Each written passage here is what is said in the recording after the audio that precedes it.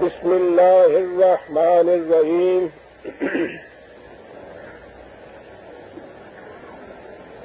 صدر گرامی قدر و عزیزان من سلام و رحمت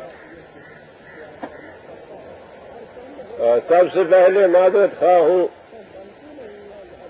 کہ ملک میں اس وقت جو گلو گیر فضاد چھائی ہوئی ہے، میں بھی اس کا شکار ہو گیا۔ لیکن اللہ کا شکر ہے کہ ابھی اس نے مجھے ہمت ہمت اتنی دی ہے کہ میں اس کا مقابلہ کر سکوں۔ لیکن اس پہ جو کچھ آواز پہ اثر پڑتا ہے، اس کے لیے میں آپ سے ضرور معذرت خواہ ہوں گا۔ جیسا کہ آپ کو معلوم ہے اور ابھی اعلان بھی کیا گیا ہے،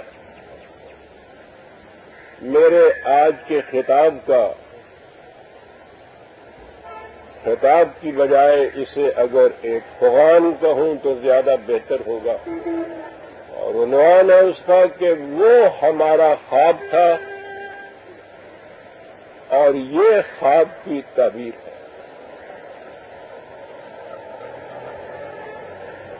عزیزان من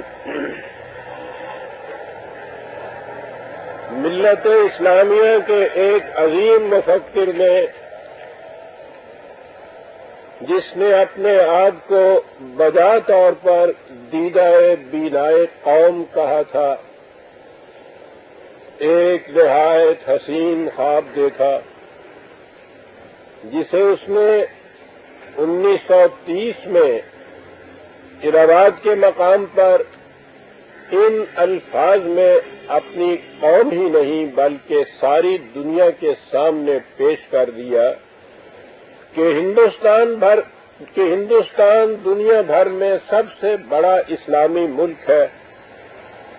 اس ملک میں اسلام بحثیت ایک تمدنی قوت کے اسی صورت میں زندہ رہ سکتا ہے۔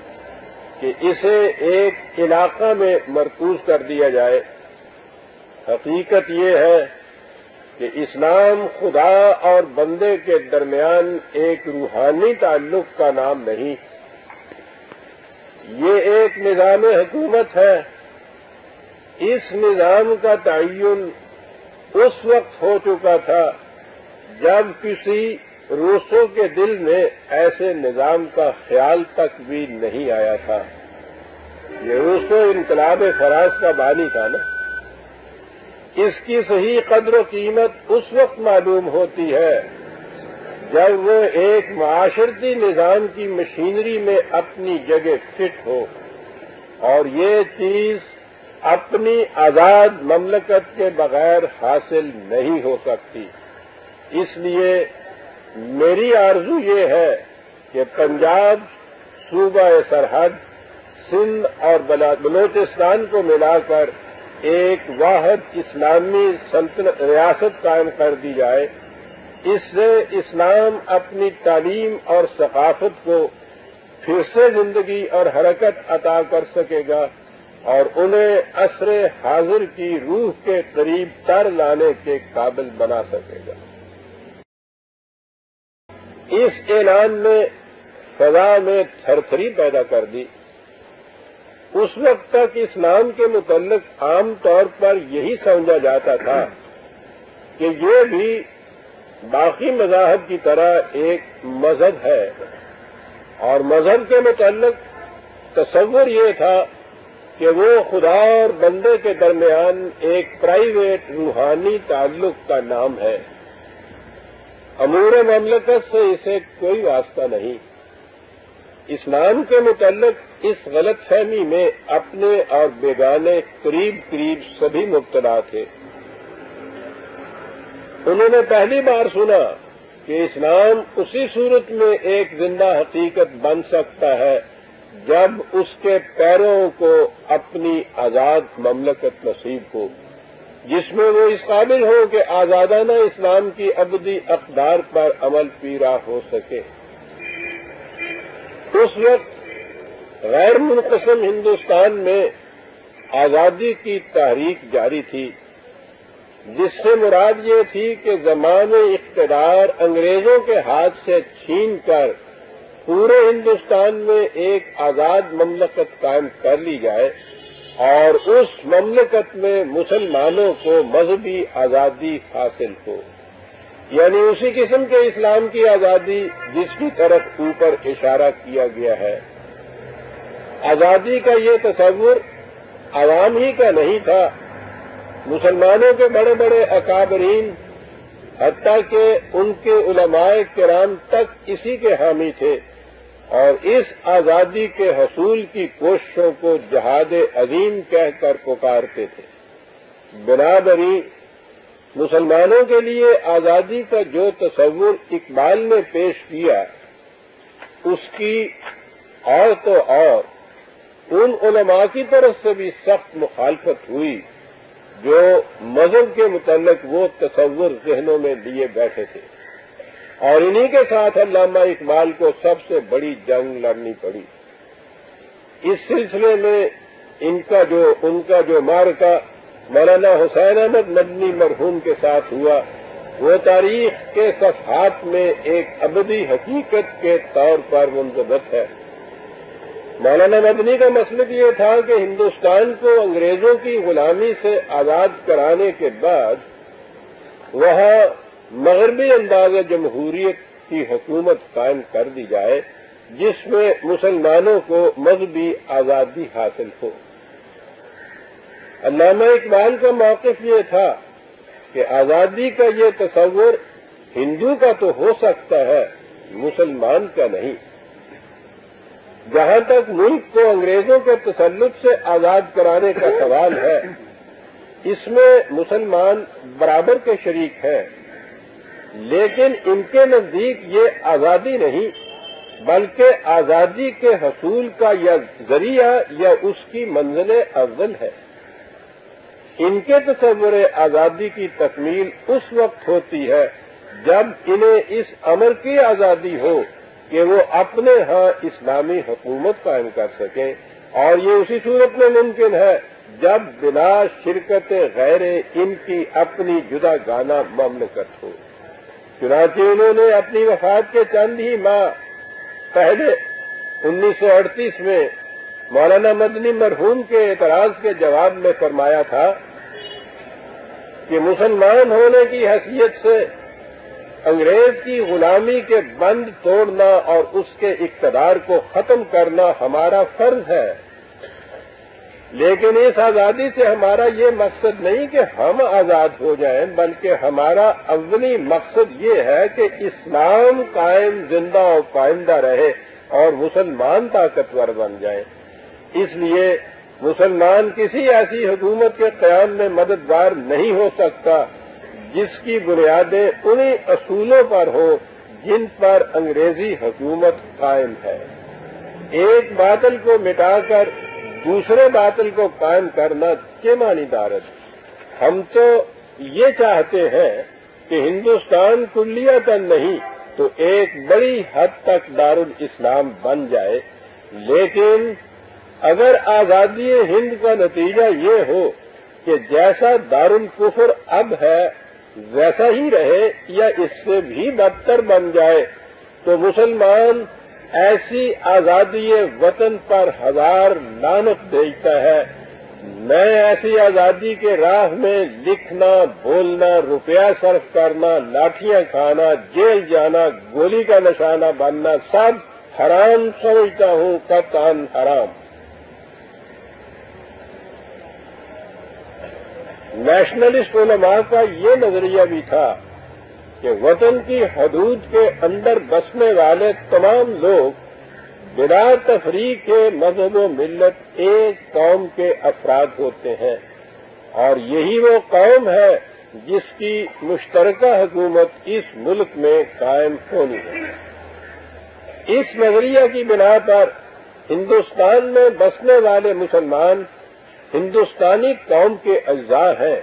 اور اس لیے ان کی جدا گانا مملکت کا سوال پیدا نہیں ہوتا۔ یہ ان لوگوں کا موقف تھا اس کے جواب میں علامہ اقبال نے کہا کہ قومیت کا یہ نظریہ بھی سراسر باطل اور قرآنی نظریہ قومیت کے خلاف ہے۔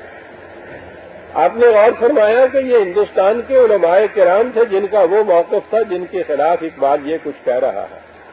اور علماء میں بھی آپ کو جانتے ہیں کہ اس زمانے میں مولانا ابوالکلام آزاد، مولانا حسین احمد بدنی، مولانا مفتی کفایت اللہ، مولانا سعید الرحمان، مولانا حفظ الرحمان، پوری جمعیت العلماء ساری کی ساری یہ تمام نیشنلسٹ علماء، ان میں سے دو ایک کا استثناء تھا کہ جنہوں نے مسلم لیگ یا قائد اعظم کی ہم نوائی میں آواز اٹھائی تھی۔ ہندوستان بھر کے تمام علماء کرام وہ سب وہ موقف رکھتے تھے وہاں جو ہندو کا مشرق اور مسلک تھا، اور ان سب کے خلاف اکیلے اقبال کی اس وقت یہ آواز اٹھی تھی ہندوستان میں۔ اس کے جواب میں علامہ اقبال نے کہا کہ قومیت کا یہ نظریہ بھی سراسر باطل اور پرانی نظریہ قومیت کے خلاف ہے۔ قرآن کی روح سے قومیت کا معیار دین کا اشتراک ہے، نہ کہ وطن کا۔ اس لیے کسی ملک کے اندر رہنے والے مسلمان محض اشتراک وطن کی بنا پر وہاں کی غیر مسلم آبادی سے مل کر ایک قوم نہیں بن سکتے۔ مسلمان ایک جدا گانا قوم کی حیثیت رکھتے ہیں اور اس بنا پر بھی اپنی الگ مملکت قائم کرنے کے حقدار ہیں۔ علامہ اقبال نے مولانا حسین احمد مدنی مرحوم کے جواب میں یہ کہا، اور بڑا اہم ہے یہ ان کا جواب جو انہوں نے دیا تھا، قومیت کے مسئلہ کے متعلق فیصل کن ایک بات فرمایا کہ اگر وطنیت کا جذبہ ایسا ہی اہم اور قابل قدر تھا، تو رسول اللہ صلی اللہ علیہ وسلم کے بعد اقارب، ہم نسلوں اور ہم قوموں کو آپ سے پرخاش کیوں ہوئی؟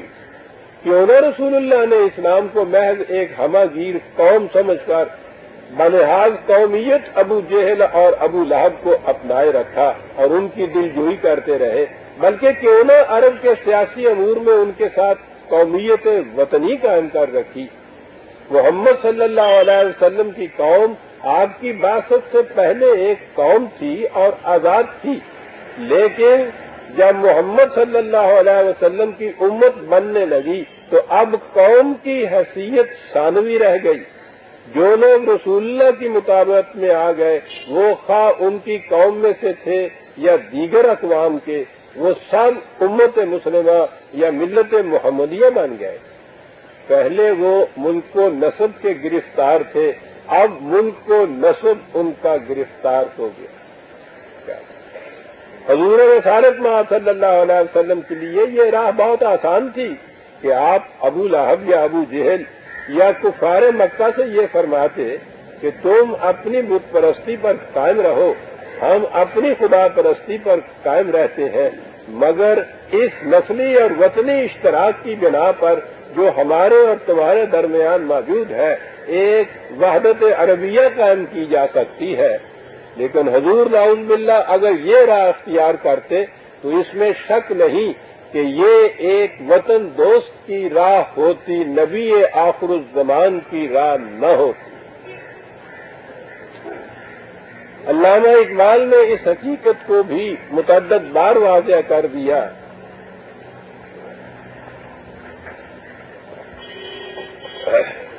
کہ اسلام میں قومیت کا مدار دین کا اشتراک ہے، نہ کہ وطن کا۔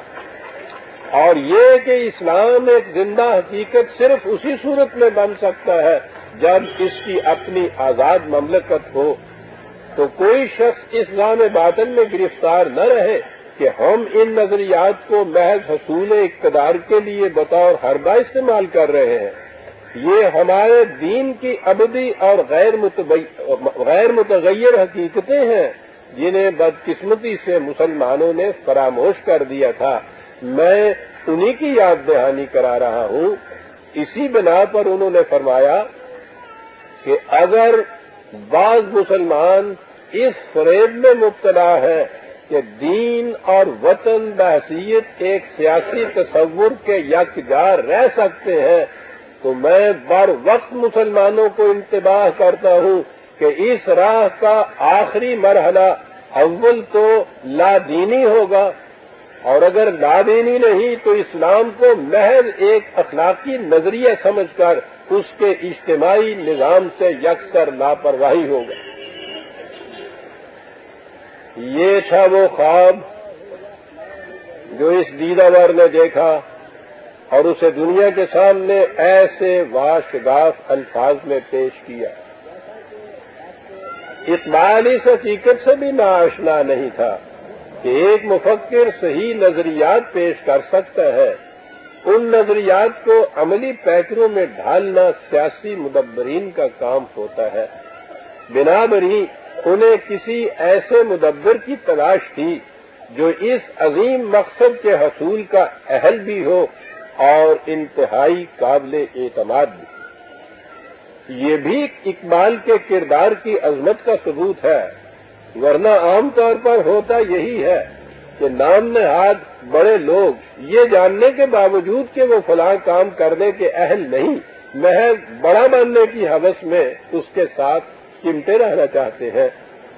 علامہ اقبال کو جو عالمگیر شہرت حاصل تھی اور ملت اسلامیہ کے دل میں بالخصوص ان کے لیے جو جذبہ احترام معزن تھا، اگر وہ بھی اسی قسم کی پوزیشن اختیار کر لیتے تو ان پر کوئی بھی معترض نہ ہوتا، لیکن ان کے جذبہ میں صداقت تھی۔ اس لیے انہوں نے ایسا نہیں کیا اور کسی ایسی شخصیت کو تلاش کرتے رہے جو اس کی اہل ہو۔ اور بلاخر ان کی یہ تلاش کامیاب ہو گئی۔ دنیا سیاست کی فراست آج تک محو حیرت ہے کہ اس تلاش میں ان کی نگاہ جا کر ٹکی تو کس شخصیت پر؟ اس شخصیت پر جس کے متعلق اس وقت کسی کے وہم و گمان میں بھی نہیں تھا کہ وہ ایمان کی بنیادوں پر جدا گانا قومیت اور اسلام کے احیاء کے لیے مسلمانوں کی جدا گانا مملکت کے نظریے کو اپنا سکے گا۔ اور نہ صرف اپنا سکے گا بلکہ اسے کامیابی کی آخری منزل تک بھی پہنچا دے گا۔ بمبئی کے بیرسٹر محمد علی جنا بہت بڑے نیشنلسٹ تھے۔ عمر بھر ہندو مسلم اتحاد کے علمبردار رہے اور جب اپنی کوششوں میں ناکام رہ گئے تو مایوسی کے عالم میں وطن چھوڑ کر سات سمندر پار انگلستان کے ایک گوشہ تنہائی میں خاموش ہو کر بیٹھ گئے علامہ اقبال کی نگاہ متجسس جا کر اس شخصیت پر ٹکی۔ چنانچہ انہوں نے مسٹر جنا سے رابطہ قائم کیا اور ایک عرصہ کی جد و جہد کے بعد اکیس جون انیس سو سینتیس کو انہیں وہ خط لکھا جو ان کے ترکش کا آخری تیر تھا۔ وہ تیر ٹھیک نشانے پر بیٹھ اس خط میں انہوں نے لکھا تھا کہ میں جانتا ہوں اس بال کا خط جنا کے نام انیس سو سینتیس میں۔ میں جانتا ہوں کہ آپ بہت بڑے، بہت مصروف انسان ہیں، لیکن مجھے امید ہے کہ میرا آپ کو بار بار دکھنا آپ پر گران نہیں گزرتا ہوگا۔ میرے اس اصرار و تکرار کی وجہ یہ ہے کہ میری نگاہوں میں اس وقت ہندوستان بھر میں آپ ہی وہ واحد مسلمان ہیں جن کے ساتھ ملت اسلامیہ کو اپنی یہ امیدیں وابستہ کرنے کا حق ہے کہ آپ اس طوفان میں جو یہاں آنے والا ہے، اس کی کشتی کو ثابت و سالم با امن و عافیت ساحل مراد تک پہنچائے۔ جی نے من قائد اعظم کے سوانح حیات ہیکٹر والیتوں نے مرتب کیے ہیں۔ وہ ہم میں سے نہیں، مسلمان بھی نہیں، انگریز ہے سائی ہے، وہاں کا رہنے والا ہے۔ اس نے اپنی اس سوان حیات کے اندر ان خطوط کو بھی منظمت کر کے رکھ دیا ہے۔ یہ خط علامہ اقبال نے اس اس زمانے کے مسٹر محمد علی کو لکھا۔ یہ تیر اقبال کے قلب سے نکلا اور سیدھا جنا کے دل میں پیر گیا۔ اقبال نے پورے اعتماد اور یقین کے ساتھ پرانی نظریات کی یہ شمع فروزہ جنا کے ہاتھ میں تھما دی، جسے ملت نے بجا طور پر قائد اعظم کہہ کر پکارا۔ اقبال کے بعد دین اور وطن کی یہ جنگ قائد اعظم اور تاریخ پاکستان کے مخالفین کے درمیان ٹھن گئی۔ ان میں انگریز، ہندو، کانگریسی مسلمان اور کانگریسی مسلمانوں میں آپ کو معلوم ہے نیشنلسٹ علماء، جنہیں اس زمانے میں جو جمعیت علماء ہند کہتے تھے، آپ بھی، آج بھی وہ اسی نام سے ہے دیوبند کے تمام علماء کرام بجوز دو ایک کے پوری کی پوری حرار کی جماعت، آزاد، انصار، سرخ پوش، جماعت اسلامی یہ تمام کے تمام اس تاریخ، اس نظریے اور جنا کی مخالفت میں یوں کہیے کہ ایک متحدہ محاذ بنائے ہوئے تھے۔ اور انگریز اور ہندو تو ان کے علاوہ الگ رہے۔ یہ تھا وہ محاذ جو وہاں قائم ہوا۔ مسٹر گاندھی اس زمانے میں اس متحدہ محاذ کے سربراہ تھے۔ مسٹر گاندھی نے قائد اعظم کو لکھا کہ آپ دین کو قومیت کا معیار کیسے دیتے ہیں اور مذہب کو سیاست میں کیوں گھسیٹ رہے ہیں؟ اس کے جواب میں قائد اعظم نے اسے یکم جنوری انیس سو چالیس کو ایک خط لکھا، جس میں کہا کہ آج آپ اس سے انکار کرتے ہیں کہ قومیت کی تشکیل میں مذہب ایک بہت بڑا عنصر ہے۔ آپ اس کا انکار کرتے ہیں، لیکن جب خود آپ سے یہ سوال کیا گیا تھا کہ زندگی میں آپ کا مقصود کیا ہے اور وہ کون سی قوت محرکہ ہے جو ہمیں آمادہ بعمل کرتی ہے؟ کیا وہ مذہب ہے یا سیاست؟ یا عمرانی اصلاح؟ تو آپ نے کہا تھا کہ وہ خالص مذہبی جذبہ ہے۔ لہذا مذہب اور سیاست دو الگ الگ شعبے ہو نہیں سکتے۔ آپ تمدنی، معاشی، سیاسی اور خالص مذہبی امور کو الگ الگ شعبوں میں تقسیم کر ہی نہیں سکتے۔ عزیزہ نے من سوچئے، یہ ابھی مسٹر محمد علی جنا اقبال کے چند خطوط اور ان کا کچھ تھوڑا سا لٹریچر کے مطالعہ کے بعد یہ مسٹر گاندھی کو یہ جواب دے رہے ہیں۔ کہ آپ تمدنی معاشی، سیاسی اور خالص مذہبی امور کو الگ الگ شعبوں میں تقسیم کر ہی نہیں سکتے۔ جس مذہب کو نو انسان سے واسطہ نہیں، میں اسے مذہب ہی تسلیم نہیں کرتا۔ مذہب انسان کے ہر معاملہ کے لیے اخلاقی بنیاد مہیا کرتا ہے۔ اگر مذہب نہ ہو تو انسانی اعمال اس بنیاد سے محروم رہ جاتے ہیں۔ اور جب زندگی ایسی بنیاد سے محروم رہ جائے تو وہ انسانی زندگی نہیں، محض غوغا آرائی اور ہنگامہ پروری بن کر رہ جاتی ہے، جس میں شور و شغب تو بہت ہوتا ہے، لیکن مقصد کوئی نہیں ہوتا۔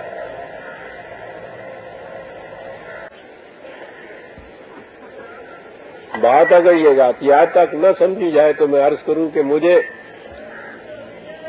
حضرت قائد اعظم کو بہت قریب سے مطالعہ کرنے کا موقع ملا۔ دس سال تک ان کی رفاقت رہی اور وہ ایسی تھی، ان کا بڑا یہ کرم تھا کہ وہ بہت نزدیک تر مجھے وہ اپنے سے لے آتے تھے۔ یقین مانیے کہ اس قدر جسے ذکاوت ذہنی کہتے ہیں، شارپ انٹلیکٹ۔ اور اس کے متعلق اقبال نے جو کہا تھا کہ اس کا معیار یہ ہے کہ خارے دید ہو احوال چمن گفت کہ اگر اسے ایک کانٹا دکھا دیا جائے تو وہ سارے باغ کی داستان تمہیں سمجھا دے گا کہ کیا ہوتی ہے۔ میں نے انہیں یہی پایا تھا۔ ایسے ایسے اہم دقائق اور نکات اور مسائل دین کے متعلق۔ اس سے پہلے ان کا مطالعہ ایسا نہیں تھا، وہ مذہبی سمجھتے تھے۔ کیفیت یہ تھی، میں اس کو اپنی سعادت اور ان کی ذکاوت فہم کے متعلق بات کر رہا ہوں۔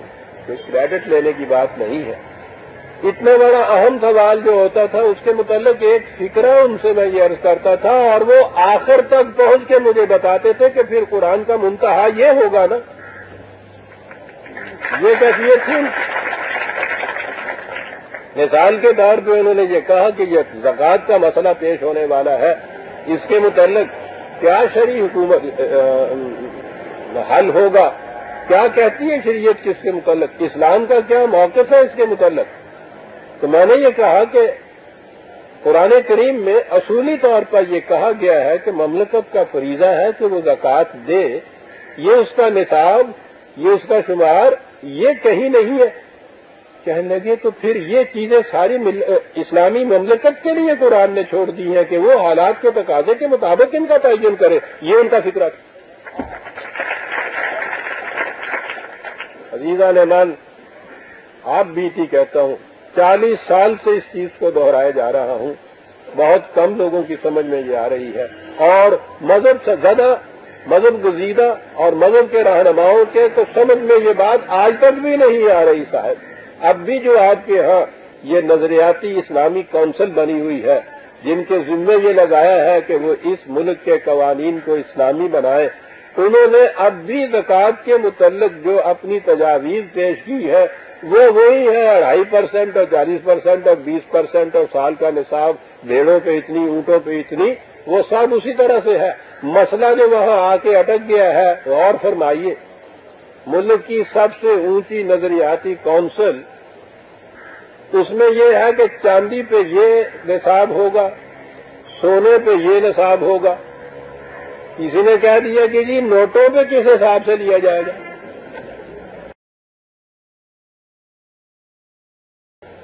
سارے مقننین ائمہ کرام، فقہائے اعظام آپ کے وہاں بیٹھے ہوئے ہیں۔ اور اس مسئلے کے اوپر سر کھجا رہے ہیں کہ شریعت میں یعنی فقہ میں تو چاندی اور سونے کا نصاب لکھا ہوا ہے۔ یہ نوٹوں کا تو ہے ہی نہیں لکھا ہوا صاحب، اس کے لیے کیا کیا جائے؟ اور ایک یہ تھے کہ جن کی کیفیت یہ جیسا میں نے ابھی عرض کیا ہے ایک فکرہ میں نے کہا تھا، اور اس قسم کی چیزیں تو پوچھیے نہیں کتنی میرے ذہن میں مستحضر ہیں۔ دس سال تک یہ کچھ ہوتا رہا تھا۔ اتنی سی بات کہنے سے کہ قرآن کریم نے تو میں نے کہ اس کا نصاب اور یہ چیزیں مقرر کی نہیں ہے اصولی حکم دیا ہے۔ تو ان کا فوراً جملہ یہ جواب تھا، اس کے بعد عزیزہ نے مان اس کے معنی تو یہ ہے کہ اس نے یہ چیز مملکت اسلامیہ پر چھوڑ دی ہے کہ اپنے حالات کے تقاضے کے مطابق خود وہ اس کا تعین کرے۔ اور یہ چیز تھی جو انہوں نے اس زکات کے مسئلے کے اوپر یہ اس کی اسٹیٹمنٹ دی پھر جاتا یہ کیفیت تھی ان تو میں عرض یہ کر رہا تھا کہ یہ چیز جو وہ کہہ رہے ہیں کہ اگر یہ اخلاقی بنیادیں جو دین متعین کرتا ہے یا مہیا کرتا ہے، اگر انسانی زندگی سے اس کو الگ کر دیا جائے تو وہ انسانی زندگی نہیں، محض غوغا، آرائی اور ہنگامہ پروری بن کر رہ جاتی ہے، جس میں شور و شغب تو بہت ہوتا ہے، لیکن مقصد کچھ نہیں ہوتا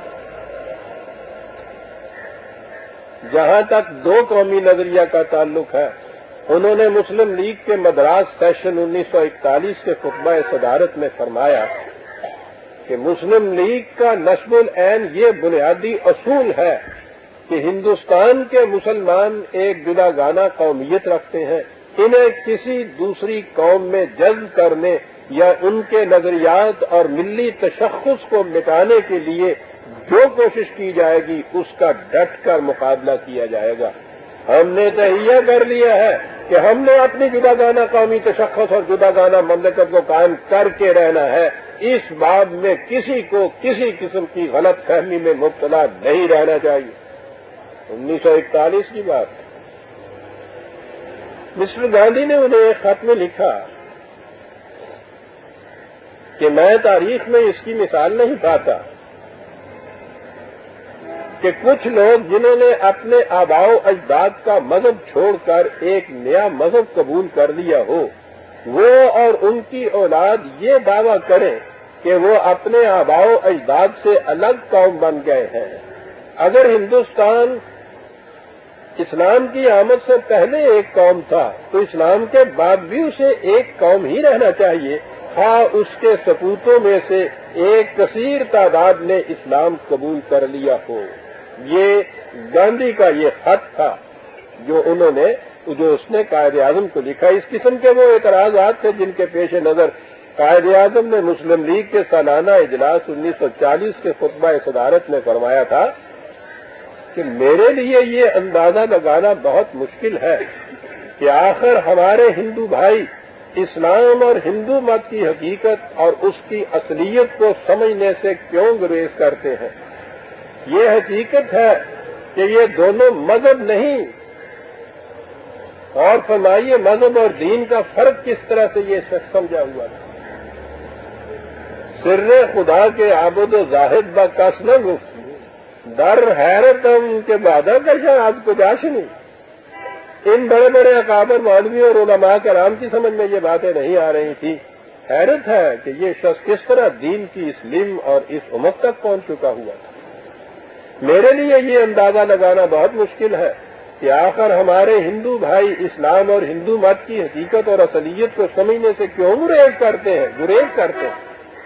یہ حقیقت ہے کہ یہ دونوں مذہب نہیں۔ بلکہ ایک دوسرے سے مختلف معاشرتی نظام ہے اور اس بنا پر متحدہ قومیت ایک ایسا خواب ہے جو کبھی شرمندہ تعبیر نہیں ہو سکتا۔ یاد رکھیے، ہندو اور مسلمان زندگی کے ہر معاملہ میں جدا گانا فلسفے رکھتے ہیں۔ دونوں کی معاشرت میں ایک دوسرے سے مختلف ہے۔ یہ دو الگ الگ تہذیبوں سے تعلق رکھتے ہیں۔ جن کی بنیادیں متضاد تصورات پر قائم ہے دو ایسی قوموں کا ایک ایسے نظام حکومت میں جکڑ دینا باہمی مناقشت کو بڑھائے گا اور بلاخر اس نظام کو پاس پاس کر دے گا، کر دے گا جو اس ملک کے لیے وضع کیا گیا۔ یہ تھی، میں نے دو مثالیں دی ہیں، مسٹر گاندھی کے خلاف۔ وہ تو پوری تاریخ آپ دیکھیے تو اس میں آپ نظر آئے گا آپ کو کہ یہ ٹکراؤ تو تھا ان ان دو جماعتوں کے ان دو پارٹیوں میں، ان دو قوموں میں، لیکن در حقیقت وہ ٹکراؤ گاندھی جیسے شخص اور مسٹر جنہوں گاندھی کے متعلق آپ اندازہ نہیں آج لگا سکتے کہ وہ کیا بنا تھا۔ وہ مکیازری سیاست، ہندو فلسفہ زندگی جو یکسر پریڈ پر مبنی ہے، اس کا شاطر اول تھا۔ وہ دنیا کے بڑے بڑے سیاست دانوں کا کام کر دیتا تھا۔ وہ گندا قسم کا ننگا فقیر جس کلچر نے کہا تھا، اس کی کیفیت یہ تھی، اتنی دور کی سوچتا تھا کہ کسی کی بات سمجھ میں نہیں آتی تھی اور مہاتما مان کے اس کو وہ پیش کیا کرتا تھا۔ یہ اللہ تعالیٰ کا احسان تھا ہم پہ عزیزہ نے من اور اقبال کی نگاہ دور بھی کہ قائد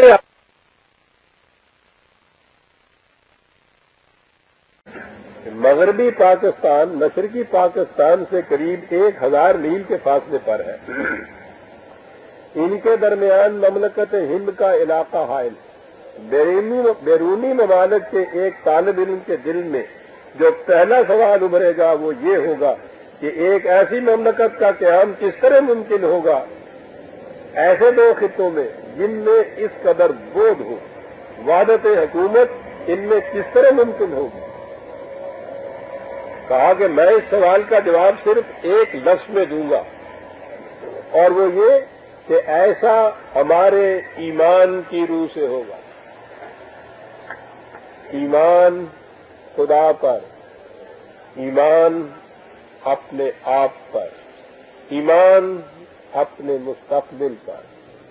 میں سمجھتا ہوں کہ جو لوگ ہم سے اچھی طرح واقف نہیں، وہ ایسے مختصر سے جواب کا پورا پورا مفہوم سمجھ نہیں سکیں گے۔ ہاں، ہاں۔ اس لیے میں چاہتا ہوں کہ اس اجمال کی تھوڑی سی تفصیل بھی بیان کر دوں۔ خود ہی۔ اس کے بعد انہوں نے فرمایا کہ پاکستان کی آبادی کی اکثریت مسلمانوں پر مشتمل ہے۔ ہم محمد الرسول صلی اللہ علیہ وسلم کی تعلیم کے پیرو ہیں۔ ہم اس اسلامی برادری کے ارکان ہیں جن میں حقوق، شرف و احترام اور تقریم ذات کے اعتبار سے تمام افراد برابر ہوتے ہیں۔ بنا بری، ہم میں حقوبت اور وحدت کا بڑا گہرا جذبہ ہے۔ ہماری اپنی تاریخ ہے اور اپنی رسوم و روایات ہے ہم اپنے نظریات زندگی کی نقطۂ نگاہ اور احساس درو کے مالک ہیں۔ اور یہی ہے وہ عوامل جو قومیت کی تشکیل کا مدار بنتے ہیں۔ اور انہی کی بنیادوں پر مشرق اور مغرب میں رہنے والے مسلمان ہم ایک قوم بن جاتے ہیں۔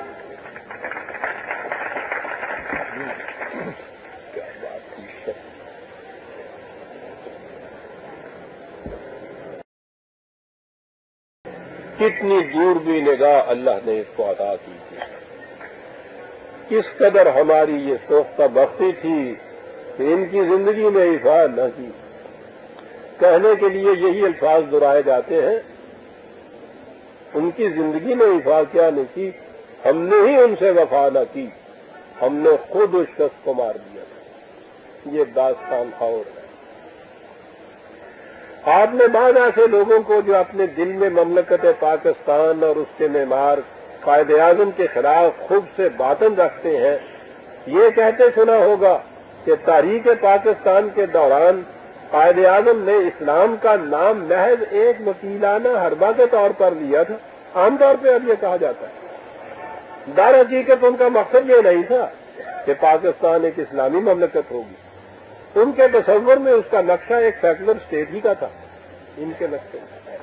آپ سنیے کہ انہوں نے کہا یہ جاتا ہے کہ تاریخ پاکستان کے دوران وہ اسلام کا نام اس لیے لیتے تھے کہ وکیلانہ حربے کے طور پر مقدمہ جیتنا ہے۔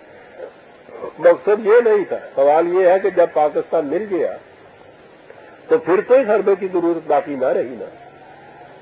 انہوں نے تشکیل پاکستان کے بعد بحثیت گورنر جنرل اکتوبر انیس سو سینتالیس میں خالد دینا ہال کراچی میں حکومت پاکستان کے افسروں سے اپنے خطاب اولی میں فرمایا تھا کہ پاکستان کا قیام جس کے لیے ہم گزشتہ دس سال سے مسلسل کوشش کر رہے تھے۔ اب خدا کے فضل سے ایک حقیقت ثابتہ بن کر سامنے آ چکا لیکن ہمارے لیے اس آزاد مملکت کا قیام مقصود بھی ذات نہیں تھا، بلکہ ایک عظیم مقصد کے حصول کا ذریعہ تھا۔ ہمارا مقصد یہ تھا کہ ہمیں ایک ایسی مملکت مل جائے جس میں ہم آزاد انسانوں کی طرح رہ سکیں اور جس میں ہم اپنی روشنی اور ثقافت کے مطابق نشو و نما پا سکیں اور اسلام کے عدل عمرانی کے اصول آزادانہ طور پر روبہ عمل لا سکیں اپنے امبال حکومت کو سب سے پہلا خطاب گورنر جنرل کی حیثیت سے پاکستان بننے کے بعد یہ دیا گیا تھا۔ یہ تھا عزیزان من وہ حسین خواب جسے ہم نے غیر منقسم ہندوستان کی شب تیرا اور تاریخ میں دیکھا تھا۔ خود قائد اعظم نے اپنے امریکہ کے نام اپنے امریکہ کے نام اپنے براڈ کاسٹ میں فرمایا تھا کہ پاکستان جو دس کروڑ مسلمانوں کے حسین خواب کی تعبیر ہے، اب وجود میں آ گیا ہے۔ انہوں نے بھی اسے کہا تھا۔ یہ دنیا میں سب سے بڑی اسلامی مملکت اور تمام دنیا کی مملکتوں میں پانچویں درجے پر ہے۔ اور یہ تھا ہمارا خواب۔ اب اس خواب کی تعبیر دیکھیے۔ مگر دیکھنے کے لیے آپ کو جگر تھام کر بیٹھنے کی ضرورت ہوگی۔ اس لیے کہ ہم اپنی روح داد کیا سنائیں۔ کچھ اس میں ہیں واقعات ایسے اگر کوئی دوسرا سناتا، ہم ہی سمجھتے اسے پکانا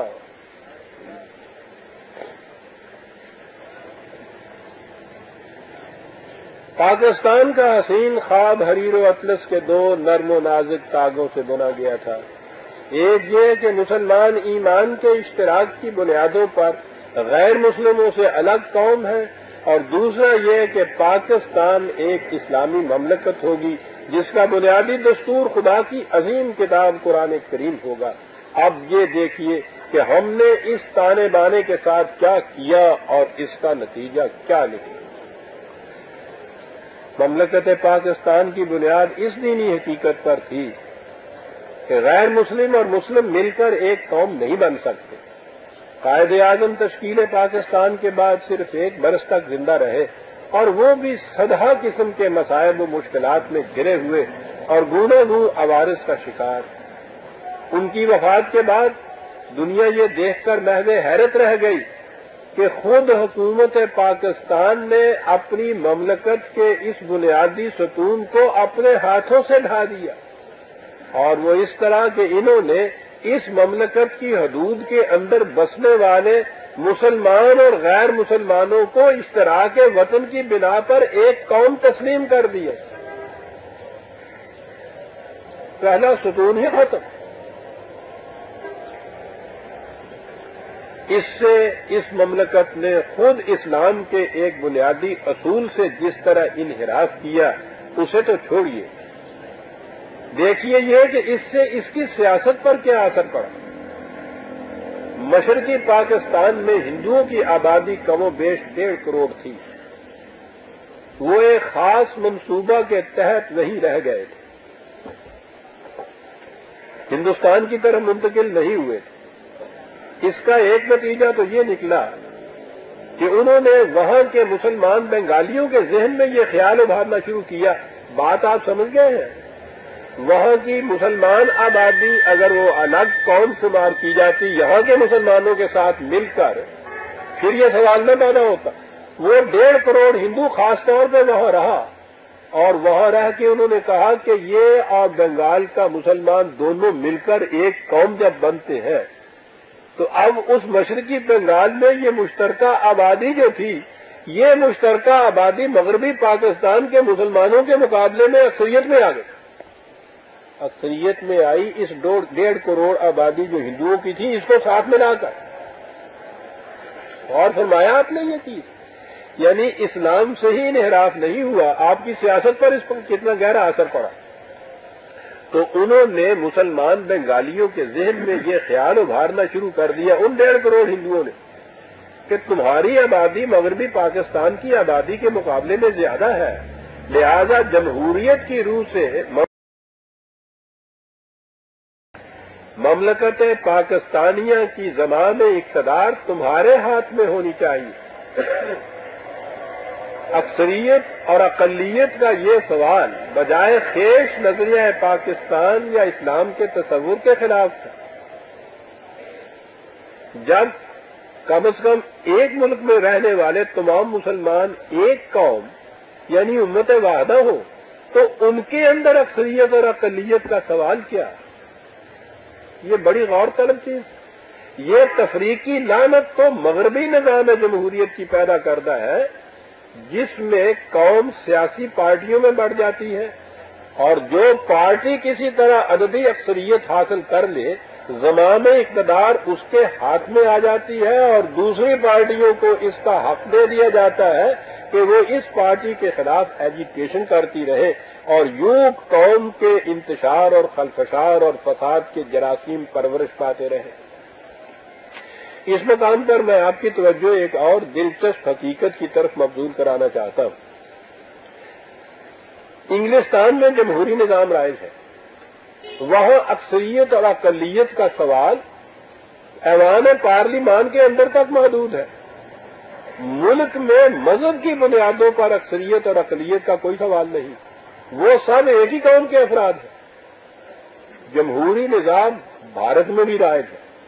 لیکن وہاں ایک اکثریت اقلیت پارلیمان کے اندر ہے اور دوسری اکثریت اقلیت عام ملک کے اندر یعنی ہندو اکثریت اور وہاں غیر ہندو مسلمان، عیسائی وغیرہ اقلیت ہے۔ ہم نے اپنے ہاں نظام جمہوریت بھی رائج کیا۔ تو اسلام کے خلاف تو یہ تھا ہی بھارت کے نمونے کا رائج کیا، جس کی روح سے ایک اکثریت اور اقلیت پارلیمان کے اندر ہے اور دوسری اکثریت اقلیت بربنائے مذہب ملک کے اندر۔ اور پھر ان دونوں پر مشتمل پاکستانی قوم یعنی اس میں دین کے ایک مسلمہ اور مطالبہ پاکستان کی بنیاد سے انحراف تو ایک طرف، خود نظام جمہوریت کی بھی نفی ہو جاتی ہے۔ جب کوئی قوم سوچنا چھوڑ دے تو اس کا یہی نتیجہ ہوتا ہے۔ بہرحال، ہمارے ہاں مغربی نظام جمہوریت اختیار کر لیا گیا، حتیٰ کہ اقامت دین کی علم بردار ہونے کی مدعی جماعتوں تک نے اسے اسلامی قرار دے دی۔ مشرقی پاکستان کے ہندوؤں کے پیش نظر مقاصد کے لیے یہ نظام بڑا سازگار تھا۔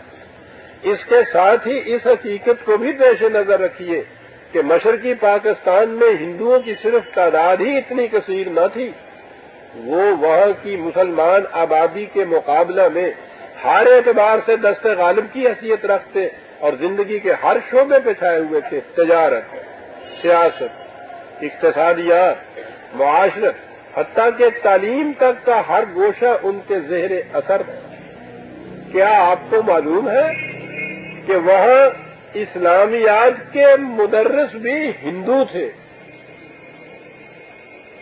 مسلمانوں کے بچوں کو اسلامیات کی تعلیم دینے والے ہندو مدرس تھے وہاں۔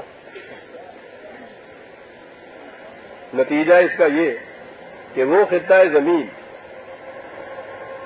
حصہ تو مملکت پاکستان کا تھا، لیکن حکومت وہاں بھارتی ہندوؤں ہی کی تھی۔ مشرقی پاکستان سے نیچے اترتا۔ ہے قریب قریب یہی پوزیشن سندھ کی تھی، وہاں بھی ہندو بڑی مؤثر حیثیت رکھتے تھے۔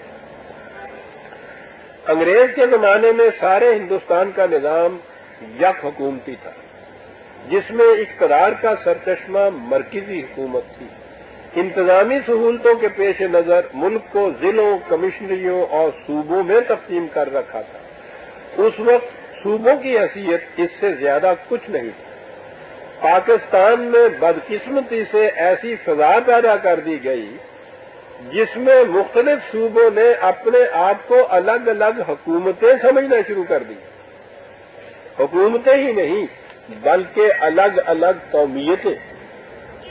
اس احسار کے آثار اول مشرقی پاکستان میں پیدا ہونے شروع ہوئے، اور اتنی جلدی کہ وہاں زبان کے اختلاف کی آڑ میں بنگالیوں اور غیر بنگالیوں میں فسادات شروع ہو گئے۔ حالات ایسی نزاکت اختیار کر گئے کہ خود قائد اعظم کو وہاں جانا پڑا۔ یہ شروع انیس سو اڑتالیس کی بات وہاں وہ قریب نو دن ٹھہرے اور واپسی پر انہوں نے وہاں کے رہنے والوں کے نام ریڈیو سے ایک الوداعی پیغام نشر کیا، جس کے دوران فرمایا کہ پاکستان مسلم قومیت کی وحدت کا مظہر ہے اور اسے ایسا ہی رہنا چاہیے۔ ہمیں حقیقی مسلمان ہونے کی حیثیت سے اس وحدت کا پورا پورا تحفظ کرنا چاہیے۔ اگر ہم نے اپنے آپ کو اولن بنگالی، پنجابی، سندھی وغیرہ کی حیثیت سے سمجھنا شروع کر دیا اور مسلمان اور پاکستانی ہونے کی حیثیت محض اتفاقیہ تصور کر لی گئی تو پھر پاکستان کے ٹکڑے ٹکڑے ہو جائیں گے۔ یہ نہ سمجھیے کہ یہ کوئی بعید قیاس اور ناقابل فہم سا مسئلہ ہے۔ ہمارے دشمنوں کو اس کے امکان کا اچھی طرح اندازہ ہے اور انہوں نے ابھی سے اس کے لیے بسات بچھانی شروع کر دی ہے۔ میں آپ سے صاف صاف بات کرنا چاہتا ہوں۔ ذرا سوچئے کہ جب سیاسی ایجنسیاں اور ہندو پریس جس نے تشکیل پاکستان کی انتہائی مخالفت کی تھی۔ مشرقی بنگال کے مسلمانوں کے مظلومہ منصفانہ حقوق کا درد دل میں لے کر اٹھے، تو کیا یہ انتہائی شارنگیز چال نہیں ہوگی؟ جس طرح آج الگ پنجاب کے حقوق کا درد لے کے اٹھ رہی ہے ہمارے ہاتھ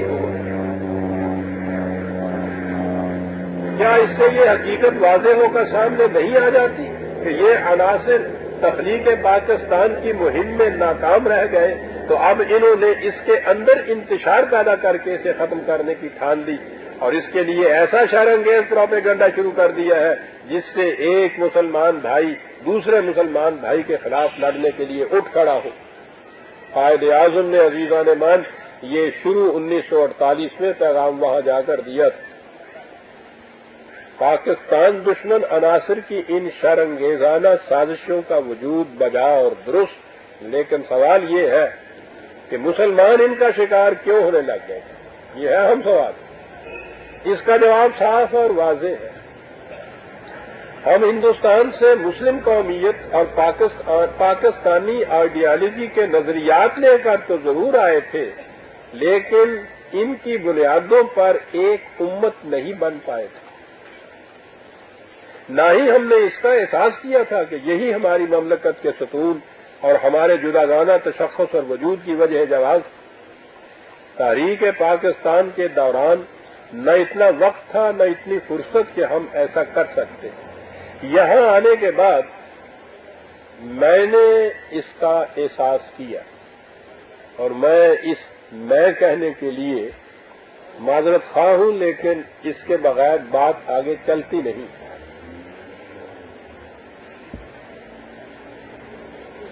قرآن کریم کی روشنی اور قوموں کی نفسیات کے مطالعہ کے بعد میں اس نتیجے پر پہنچا کہ اس کا علاج اس کے سوا کچھ نہیں کہ ہم اپنے نصاب نصاب و نظام تعلیم کو یکسر بدل دیں تاکہ ہماری آنے والی نسلوں کی ذہنی اور قلبی تربیت اس انداز کی ہو کہ وہ ان نظریات کی حامل قوم بن کر ابھرے۔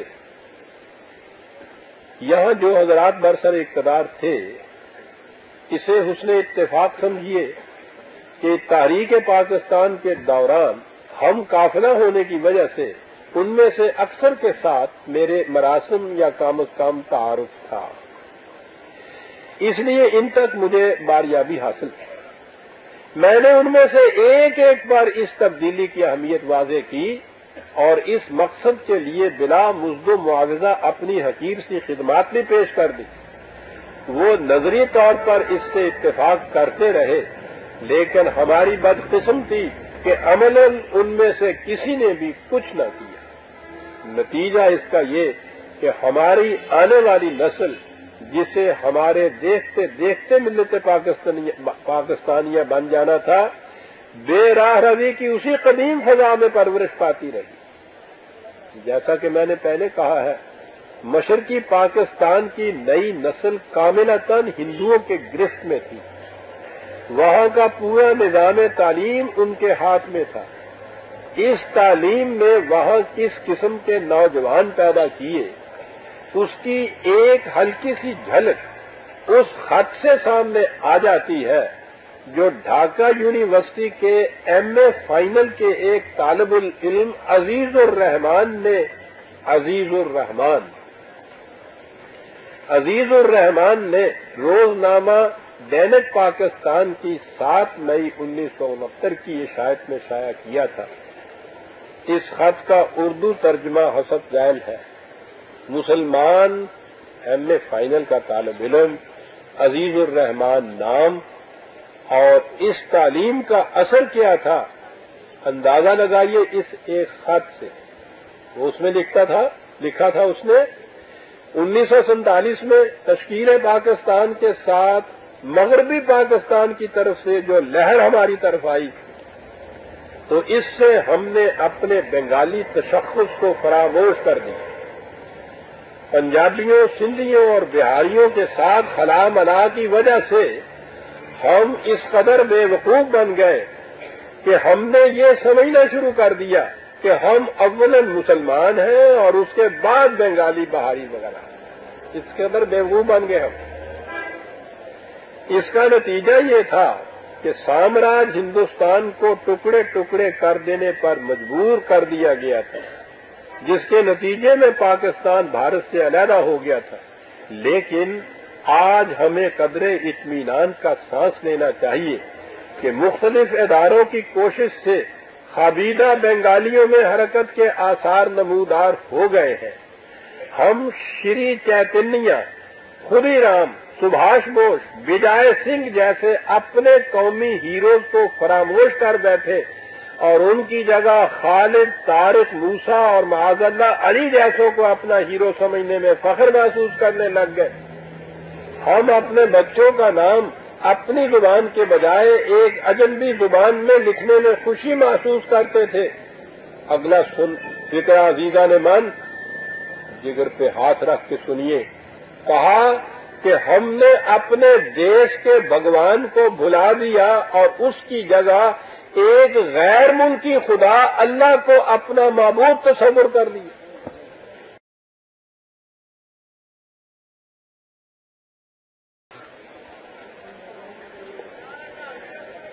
نام ابھی تک عزیز و رحمان تھا اور ہمارے تعلیم کا اثر کیا ہوا کرتا ہے؟ ہم نور اللہ اور خلیل اللہ جیسے ناموں پر ریچ گئے اور ناگن اور کھاگن جیسے سیدھے سادے ناموں کو تیاگ بیٹھے۔ یہ سب ان رنگین چشموں کا نتیجہ ہے جسے باہر سے درامد کیا گیا تھا۔ باہر سے۔ لیکن اب ہمارا بنگالی جذبہ آہستہ آہستہ بیدار ہوتا جا رہا ہے۔ اس سے اسلامی قومیت کے بندن ڈھیلے پڑ جائیں گے اور علاقائی قومیت کے رشتے مضبوط ہو جائیں گے۔ مشرقی بنگال کی اس روش کے تتبوں میں وہ شخص لکھتا ہے انہتر میں کہ مشرقی بنگال کی اس روش کے تتبوں میں مغربی پاکستان میں ہمارے سندھی بھائی بھی بیدار ہو رہے ہیں اور پہلے سندھی اور اس کے بعد کچھ اور ہے اگر ہم اسی طریق سے اپنے دیگر اہل وطن کے خیالات کو بھی متاثر کرتے رہے کہ وہ جغرافیائی اور لسانی قومیت کو اسلامی قومیت پر ترجیح دے تو مغرب کی عیسائی قوموں نے ترکوں کی خلافت کو تباہ کر کے جو کچھ حاصل کیا تھا، ہم اس سے بھی زیادہ حاصل کر دیں گے۔ یہ ہو رہا تھا آپ کے ملک میں پانچ چھ برس پہلے سے۔ کسی نے توجہ نہ دی۔ جیسا کہ پہلے کہا جا چکا ہے، مشرقی پاکستان کے بعد مغربی پاکستان میں ہندو مقابلہ تن سندھ میں زیادہ اثر رکھتے تھے۔ یہی وجہ ہے کہ عزیز الرحمان نے یہ کہا کہ بنگالیوں کی طرح یہی جذبات سندھیوں میں بھی بیدار ہونے شروع ہو گئے ہیں۔ ہندوؤں کے ان اثرات اور غلط نظام تعلیم نے سندھ میں کس قسم کی نئی تعلیم یافتہ نسل کو جنم دیا، اس کا اندازہ ایک سندھی طالبہ مس نسیم خالد کے اس خط سے لگ سکتا ہے، جو کراچی سے شائع ہونے والے روز نامہ حریت کی ہفتہ وار اشاعت بابت چار نومبر انیس سو اڑسٹھ میں شائع ہوا تھا۔ اس میں اس طالبہ نے لکھا تھا وہ تو وہاں کی بات تھی، کہا جا سکتا ہے دور کی بات تھی۔ یہ یہاں کی بات ہے۔ کراچی کے روز نامہ میں یہ شائع ہو رہا ہے، خط اڑسٹھ میں۔ سوچئے کب سے یہ چیزیں چلی جا رہی تھی صاحب جس کا رونا ہم آج رو رہے ہیں۔ اس نے لکھا تھا، تو وہ اسلام اور پاکستان جو ہم سے ہمارا سندھ اور سندھی زبان چھینے، ایسے اسلام اور پاکستان کو ہم اپنا بدترین دشمن سمجھتے ہیں۔ اعلانیہ اخبار میں چھپ رہا ہے خط کراچی سے شائع ہو رہا ہے۔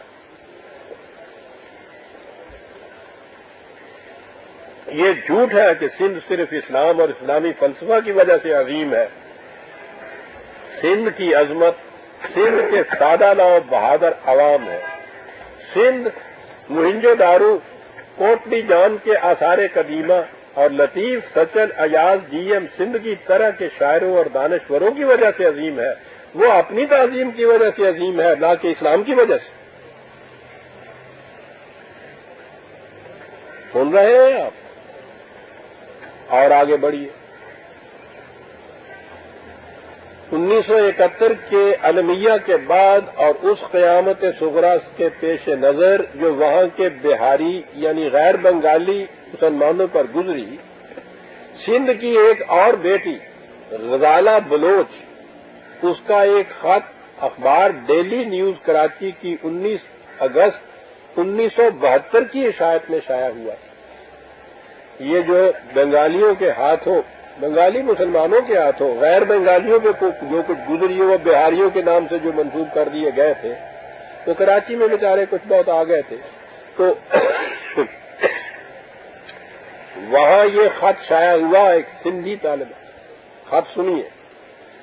اگر مشرقی پاکستان کے بہاری، پاکستانی فوج اور مرکزی حکومت کے بجائے بجائے بنگالی علیحدگی پسندوں کی حمایت کرتے تو وہ آج بڑی پر مسرت حالت میں ہوتے۔ لیکن انہوں نے سخت حماقت کی اور پاکستان، ایک پاکستان کے ساتھ وفاداری پر اصرار کرتے رہے۔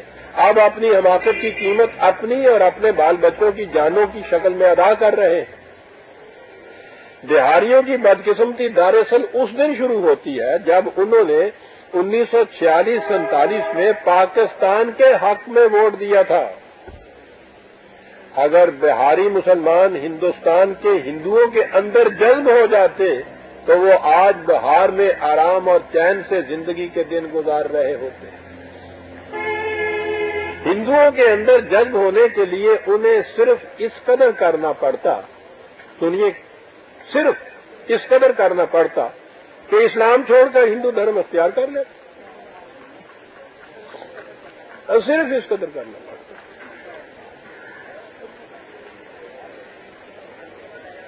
صرف اس قدر کرنا پڑتا۔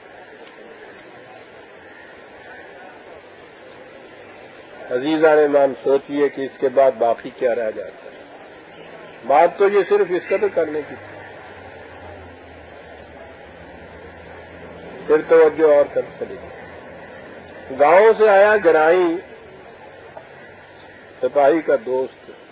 اس نے پوچھا کہ بھائی تم آئے ہو تو ہمارے گاؤں سے بھی ہو کے آئے ہو؟ کہنے لگے ہاں ہو کے آئے ہو کہنے لگا، ہمارے گھر میں خیر خرید تھی. کہنے لگے بالکل خیر خرید تھی. اللہ کا شکر. ٹھیک ٹھاک. بالکل کہنے لگے بالکل ٹھیک ٹھاک. کہنے لگا، کوئی واقعہ کہنے لگا، نہیں، کوئی خاص واقعہ تو نہیں. وہ ایک، وہ چھوٹا سا کتا تھا. ہمارے باپ نے جو پار رکھا تھا. وہ معلوم ہوا کہ وہ مر گیا. کہنے لگا، وہ تو بڑا خوبصورت کتا تھا بڑا معروف تھا میرے باپ کا. وہ کیسے مر گیا. کہنے لگا، وہ اندر بندھا ہوا تھا وہ کوٹھے کی چھت گر گئی، تو اس کے نیچے آ گیا وہ. نہیں۔ کہنے لگا کہ اس نے وہ ایک اونٹ مر گیا تھا مارا تو اس کا گوشت زیادہ کھا لیا۔ اس کی وجہ سے وہ بیمار ہوا تو وہ مر گیا۔ کہنے لگا وہ اونٹ تو ہمارے گھر میں ہوا کرتا تھا گاؤں میں، تو وہ ہمارا اونٹ کیسے مر گیا؟ کہنے لگا وہ اندر بندھا ہوا تھا، کوٹھے کی چھت گر گئی، اس کے نیچے اونٹ آ گیا تو اونٹ اس طرح سے مر گیا۔ کہنے لگا وہ چھت کیسے گر گئی؟ وہ تو اچھی خاصی نئی ابھی چھت تھی۔ کہنے لگے وہ چھت کے اوپر بہت زیادہ اصل میں آدمی آ کر بیٹھ گئے اور انہوں نے سوچا نہیں کہ بوجھ زیادہ ہے۔ اور اس ان کے بوجھ سے وہ چھت گر گئی۔ کہنے لگے کہ وہ آدمی چھت کے اوپر آ کے کیوں بیٹھ گئے؟ گاؤں میں اس قسم کا اجتماع ہوتا ہے عام طور پر چھتوں کے اندر اجتماع ہوتا ہے۔ تو کیا تھا؟ کہنے لگے وہ چھوٹا بھائی تھا نا تمہارا، اس کے کنوں کا ختم تھا۔ تو اس کی وجہ سے وہ لوگ آئے تھے تو وہ چھت پہ بیٹھ گئے۔ کہنے لگا بھائی میرا وہ چھوٹا تو بڑا اچھا تھا، خوبصورت تھا، تندرست تھا۔ ہوا کیا؟ کہنے لگا وہ جس کو ماں کا دودھ نہ ملے، تو وہ بچہ بات کیسے سکتا تھا؟ کہنے لگا ماں کا دودھ نہ ملے، ماں میری کو کیا ہوا؟ کہنے لگے، ماں میری کو کیا ہوا؟ سیدھی سی بات ہے کہ بیوہ کی زندگی ان کو بھی زندگی ہوتی ہے۔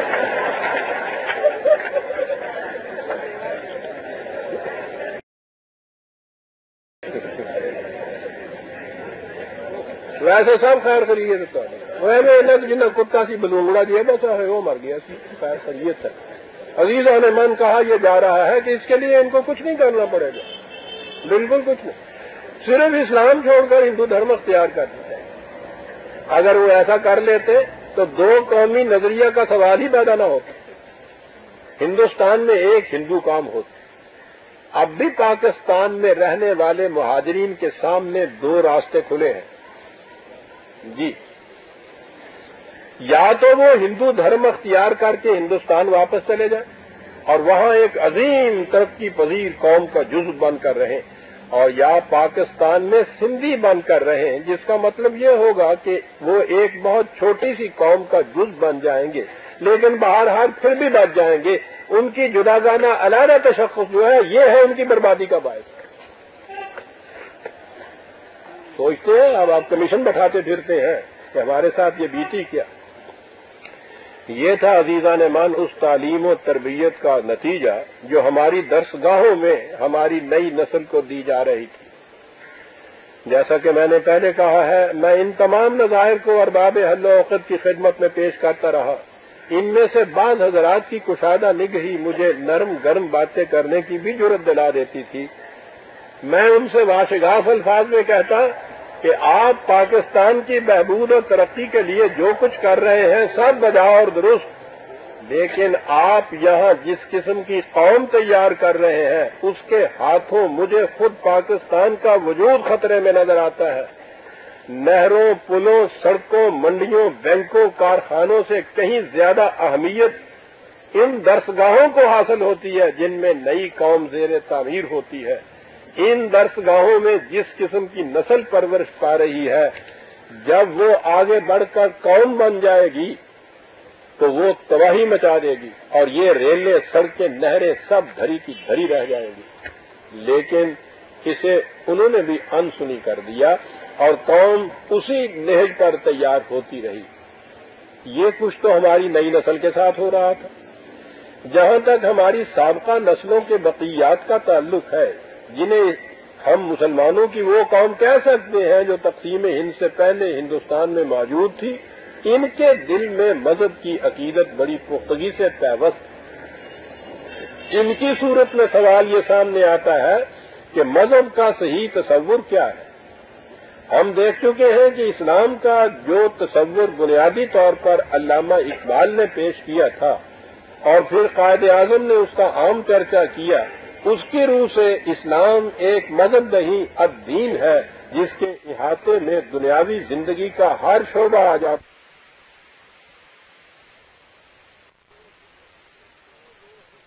ہندو نے اس حقیقت کو بھانپ لیا تھا۔ عزیزہ نے من بڑی غور سے سنیے۔ یہ تمام، یہ جو اسباب ہمارے ہاں کے پوشیدہ تھے ہماری نگاہوں سے، جو کچھ اس وقت ہو رہا ہے، آپ دیکھیے ان کا سراغ لگائیے، کہاں جا کے ان کا سراغ ملتا ہے؟ ہندوستان میں ہندوستان کے ہندو نے اس حقیقت کو بھانپ دیا اس خطرے کی روک تھام کے لیے انہوں نے سوچا یہ تھا یعنی شدھی کا ان کی شدھی کی تاریخ بری طرح سے ناکام رہ گئی تھی۔ انہوں نے سوچا یہ تھا کہ مذہب کا ایک ایسا مفہوم پیش کر دیا جائے جو مسلمانوں کے قدیم مذہب پرست طبقہ کی جذبات کی تسکین کا سامان تو فراہم کر دے، لیکن عملاً وہ ایک مفلوج قوم بن کر رہ جائے۔ اس ضمن میں پنڈت جواہر لال نہرو نے مشہور برہم سماجی رہنما شری کیشو چندر سین کی سد سالہ برسی کی تقریب میں تقریر کرتے ہوئے کہا تھا کہ ہندوستان میں اسلام ایک غلط طریق پر آیا۔ جی محمد بن قاسم کے راستے سے جو آیا، تو وہ کہتا تھا کہ یہ ایک غلط طریق پر آیا۔ بڑی ہما، ان ہر دو متضاد تصورات زندگی، اسلام اور ہندو مت میں امتزاج پیدا کرنے کے لیے، ایک کو دوسرے میں جذب کرنے کا عمل شروع ہو گیا۔ یہ سلسلہ گرو نانک اور بھگت کبیر جیسی شخصیتوں اور اکبر جیسے بادشاہوں کی کوششوں سے کافی ترقی کر گیا اس کے بعد یہ کوششیں مان پڑ گئی، لیکن یہ سلسلہ بالکل منقطع نہیں ہوا۔ رفتہ رفتہ آگے بڑھتا رہا۔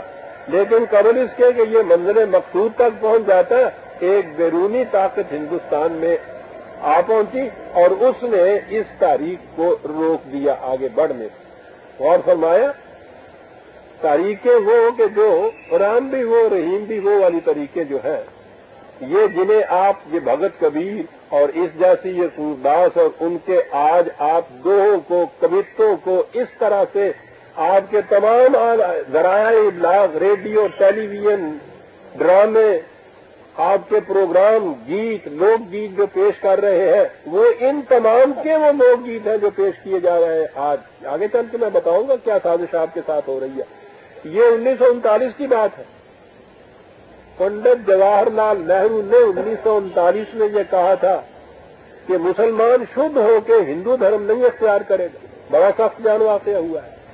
اس کے اسلام کو اس طرح سے تم مدھم کر دو کہ ہندو مت اور اسلام میں تمیزی باقی نہ رہے۔ اور اس کے لیے یہ جو سلسلہ شروع کیا گیا تھا، اس کا احیاء ضروری ہے۔ یہ انیس سو انتالیس کی بات۔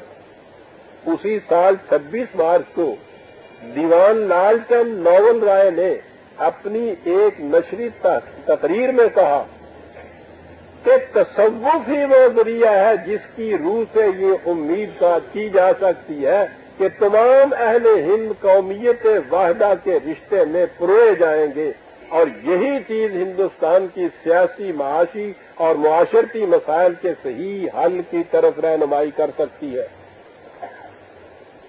اور فرما رہے ہیں آپ جن چیزوں کو اتنا تقدس آپ کے یہاں حاصل ہے، وہ کس سازش کے برگوبار ہے ہندو انیس سو انتالیس میں اس نتیجے میں پہنچ گیا تھا۔ اسلام کے اس تصور یعنی تصوف کے لیے سندھ کی سرزمین بڑی سازگار تھی۔ کیونکہ وہاں ہندوؤں نے اس سے بہت پہلے اسے ایک تاریخ کی شکل دے رکھی تھی۔ آپ کو یہ سن کر شاید حیرت ہو کہ سندھ کے بڑے بڑے صوفیاء، فقراء اور سرمستوں کے مریدوں میں ہندوؤں کی بڑی کثیر تعداد تھی اور ان کے مزارات اور خانقاہوں کی تولیت میں ان کا اثر غالب تھا معلوم نہیں اب وہاں کیا کیفیت ہے، لیکن اسلام کا یہی تصور ہے جو وہاں کی فضا پر عام طور پر مسلط ہے۔ اور جی ایم سید جو سندھ کی علیحدگی کے جراثیم عام کر رہے ہیں، وہاں اسی اسلام کے احیاء یا فروغ کی کوششوں میں مصروف ہے انہوں نے آج سے کچھ عرصہ پہلے سندھی زبان میں ایک کتاب لکھی تھی، جس کا اردو ترجمہ جیسا میں نے دیکھا کہ عنوان سے شائع ہوا تھا۔ انہوں نے اس میں پہلے صحیح اسلام کے بنیادی مسلمات کی مخالفت اور تردید کی، بلکہ ان کا مذاق اڑایا اور اس کے بعد کہا جی ایم سید نام ابھی تک وہی لیتے چلے جا رہے ہیں۔ اس کے بعد ہم آیا کہ صحیح ترین تصور حیات تصوف ہے۔ جس کا اہم اصول وحدت مذاہب ہے۔ وحدت مذاہب۔ تصوف عدم تشدد یا اہنسا کا حامی ہے۔ گاندھی کے فلسفے کا نان وائلنس وہ حق و صداقت پر کسی مخصوص گروہ کی اجارہ داری تصور نہیں کرتا۔ یہ کہ اب دین ہی خدا کے نزدیک یعنی اسلام ہی خدا کے نزدیک اب دین ہے۔ وہ کہتے ہیں وہ اس کی نفی کرتا ہے تصور۔ وہ کسی بھی مذہبی، اقتصادی اور سیاسی نظریے کو حرف آخر جان کر اس کی اندھی تکلیف سے گریز کرتا ہے۔ سوچ لیا آپ نے، دیکھ لیا۔ تصور کے تصور کے معنی کیا ہے؟ مقصد اس کا کیا ہے؟ مسٹر سید نے اسی کتاب کے آخری صفحے پر لکھا ہے کہ صوفی مذہب و عقیدہ کی بنیاد پر قومیت استوار کرنے کے خلاف ہے اور مذاہب کے موجودہ تعصبات کو درست نہیں سمجھتا، وہ مذہب اور سیاست کو ایک دوسرے سے علیحدہ رکھنے کا حامی ہے۔ جن تصورات کو مٹانے کے بعد یہ اسلام کا اعجاز مقصود تھا اور پاکستان وجود میں آیا تھا۔ آپ دیکھتے ہیں کہ اب وہ نیشنلزم کے روپ میں آپ کے سامنے نہیں لایا جا رہا۔ اسلام کی ایک شکل تصوف جو آپ کے ذہن میں راست کی گئی ہے کہ مغز دین یہی ہے، وہ کہتے ہیں کہ اس کا ہے یا اگر عام کر دیا جائے، تو یہ سارے علیحدگی کے تصورات اور اسلام اور سیاست کو یکجا کرنے کے نظریات سارے کے سارے خود مٹ جائیں گے۔ یہ تاریخ پاکستان میں آپ کے ہاں یہ جاری ہوئی ہوئی ہے بیس برس۔ تشکیل پاکستان کے بعد پاکستان کے بنیادی نظریات کے خلاف یہ جراثیم سندھ کے خطہ زمین تک ہی محدود نہیں رہے، بلکہ اسے عام کیا گیا اور بڑی شدت سے پھیلایا گیا۔ جن حضرات نے تقسیم ہند کا زمانہ دیکھا ہے، انہیں معلوم ہے کہ اس وقت پاکستان میں مرجع خلائق، مزارات اور صوفیہ کی درسگاہیں موجود تو تھیں۔ لیکن ان کی تعداد بہت کم تھی اور ان کے سلسلے میں منائی جانے والی تقاریب اور ان میں شمولیت اختیار کرنے والے زائرین اتنے پرہجوم نہیں ہوتے تھے۔ میں نے کہا ہے کہ جن حضرات نے وہ دور دیکھا ہے، وہ جانتے ہیں۔ تو میں تو اس دور کا انسان ہوں۔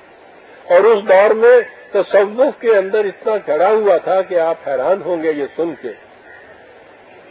کہ ہر رات کی رات میری داتا گنج بخش کے مزار پہ گزرتی تھی، ساری رات کا چلا کیا کرتا تھا یہاں لاہور میں آ کر۔ لیکن اس کے باوجود مجھے معلوم ہے کہ یہ خال خال کہیں اس قسم کے مزارات اور اس قسم کی خانقاہیں تھیں۔ میں ایک ایک خانقاہ کو جانتا ہوں، ایک ایک مزار کو جانتا ہوں۔ کہ اس زمانے میں میرا یہ مذہبی عقیدہ تھا تصور کی روس کے کہ ہر مزار پہ حاضری دیتا تھا، ہر خانقاہ کے اندر جاتا تھا۔ میں گنا سکتا ہوں کہ اس وقت خود اس لاہور میں کتنی خانقاہیں تھیں، پورے پاکستان میں کتنے اس قسم کے مرجائے اخلائق مزارات تھے۔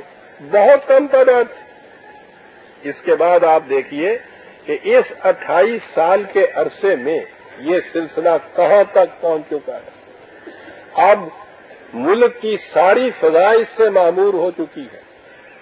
اسے اسلام کی سب سے بڑی خدمت کے طور پر فخریہ پیش کیا جا رہا ہے، ارباب حضوروں کی طرف سے بھی، اوقاف کے نظام کی طرف سے بھی۔ کوئی جگہ خالی نہیں جہاں ان مزارات کی نمود نہ کر دی گئی ہو۔ ہوتے ہی نہیں تھا۔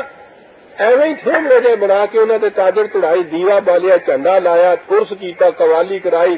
حضرت صاحب بن گئے صاحب۔ جگہ جگہ آپ دیکھ رہے ہیں کہ ان کی نمود ہوتی چلی جا رہی ہے۔ میرے سامنے عزیزہ نے من، میں شاہد ہوں ان چیزوں کا۔ میں نے عرض کیا ہے کہ میں نے اپنے اس عقیدے کی روح سے ان مزاروں کے اوپر راتوں کو چلے کاٹے ہیں میری، میرے، اب تک مجھے ایک ایک یاد ہے مزار وہ کہ کہاں ہوتے تھے۔ اور اس کے بعد یہ جو بنے ہیں، میری حیرت ہے، میرے سامنے یہ سب کچھ بنا ہے۔ اور اب ان مزارات کی نمود نہ کر دی گئی اور سال بھر میں کوئی دن ایسا نہیں آتا جب ان کے سلسلے میں کوئی نہ کوئی تقریب نہ منائی جاتی ہو۔ عرس میلے، قوالیاں، مشاعرے، مزارات کے غسل اور اور چادریں چڑھانے کی تقاریب، نظر و نیاز کی دیگیں، چڑھاوے، قیمتی پتھروں کے فرش مرثہ چھتیں چاندی اور سونے کے دروازے اور نامعلوم کیا کیا جن کا نہ اس سے پہلے کہیں وجود تھا، نہ اس قدر نمود۔ اب یہ چیزیں جہاں کے عالمگیر مذہب کی حیثیت اختیار کر چکی ہیں۔ انتالیس میں جواہر لال نے یہ بات کہی تھی کہ اگر مٹانا چاہتے ہو اس مملکت پاکستان کے جدا گانا نظریہ اور تصور کو تصور کو، تو اسلام تصور کے رنگ میں پیش کرو ان کے ہاں عزیزہ نے من۔ وہ تو وہاں ناکام رہا۔ ہم نے یہ کامیاب کر دیا اس طریقے اور اس کے خلاف لب کشائی کیجیے تو کفر کے فتوی اور نامعلوم کیا کیا کچھ ہو جاتا ہے۔ اس سلسلے میں یہ حقیقت اور بھی قابل غور ہے۔ جی بڑی قابل غور ہے یہ حقیقت جو اب بیان کر رہا ہوں میں۔ کہ قوم کے نام نہاد ترقی پسند دانشور کمیونسٹ سوشلسٹ جو خدا اور رسول تک کے منکر اور اسلام کا مذہب اڑانے میں پیش پیش ہوتے ہیں وہ بھی ذوق و شوق سے ان تقاریب میں شامل ہوتے اور بڑے جوش و خروش سے ان میں حصہ لیتے ہیں۔ ہے نا یہ حقیقت؟ کبھی سوچیے آپ، خدا کا منکر۔ اور یہ مقربین بارگاہ خدا بندی کے یہ مرید۔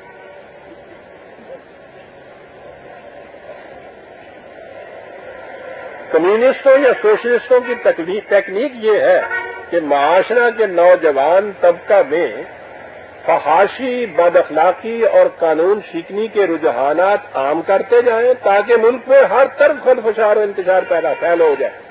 اور دوسری طرف مذہب پرست طبقہ کو ایسے مشاغل میں الجھاتے چلے جائیں جن سے وہ عالم کردار سے یکسر بیگانہ ہو جائے اور دنیاوی یا سیاسی امور میں دلچسپی لینا چھوڑ دیں۔ کیونکہ یہ لوگ کسی اخلاقی قدر کے قائل ہی نہیں ہوتے، اس لیے وہ اپنے مقصد کے حصول کے لیے ہر ہر با استعمال کر لیتے ہیں اور ہر رنگ کا بحروب بھر لیتے ہیں۔ مثلا، میں بلا سند و دلیل کوئی بات نہیں کیا کرتا عزیزہ نے میں مثلا جی جنہیں ہر رنگ کا بحروب بھر لیتے ہیں۔ چنانچہ آپ دیکھیں گے کہ یہ لوگ خدا اور رسول کے منکر اور ملحد اور دہریہ ہونے کے باوجود اہل اللہ کی مجالس میں شریک ہوتے، صوفیہ کی تقاریب میں بڑھ چڑھ کر حصہ لیتے، حتیٰ کہ عید میلاد النبی صلی اللہ علیہ وسلم کے سلسلے میں منعقد ہونے والے مشاعروں میں نعتیں پڑھتے بھی نظر آ جائیں گے۔ مثال کے طور پر جوش ملی آبادی کو دیکھیے سر۔ جب تک ایک محسوس مثال نہ پیش کی جائے، نظری بات سمجھ میں نہیں آیا کرتی زیدہ نے مان یہ بھی صنعت کے ساتھ پیش کر رہا ہوں جو میں نے عرض کیا۔ وہ اپنے آپ کو کھلے بندوں خدا کا منکر کہتے ہیں۔ تقسیم سے پہلے نام لینا پڑا بڑی تلخی سے نام میں لے رہا ہوں۔ جی نہیں چاہتا اس قسم کی سنجیدہ مقدس معافلوں میں نام تک بھی لیا جائے، لینا پڑتا ہے۔ تقسیم سے پہلے انہوں نے اپنے ماہ نامہ کلیم کی ایک اشاعت، کلیم ان کا ایک ماہوار پرچہ نکلتا تھا۔ ان کی ایک اشاعت نومبر انیس سو سینتیس میں عزیزہ نعمن میں جو رونا رویا کرتا ہوں کہ پاکستان کی تاریخ کی تاریخ ہی نہیں مرتب کی گئی۔ سازش ہے بہت بڑی۔ کہ صحیح تاریخ آنے نہ پائے آپ کے سامنے، ان، اس تاریخ میں یہ واقعات درج ہوں گے نا یہ؟ بہت بڑی سازش ہے۔ اور اگر کہیں اب اس کی تاریخ اٹھتی ہے، قائد اعظم کے سوانے حیات پاکستان کی تاریخ، نظریہ پاکستان کے متعلق قوم کو روشناس کرانے کے لیے تصانیف، اس کے لیے اب وہ آ رہے ہیں وہ برسیاں برسیاں نہیں سال نامے اب بنانے کے لیے جو تقریبیں آ رہی ہیں یہ ساری تاریخیں اور قائد اعظم کی سبان حیات نظریہ پاکستان کے متعلق یہ مسلمات تصانیف، یہ سب ان لوگوں کے سپرد کی جا رہی ہیں جو خدا اور رسول کے منکر ہیں۔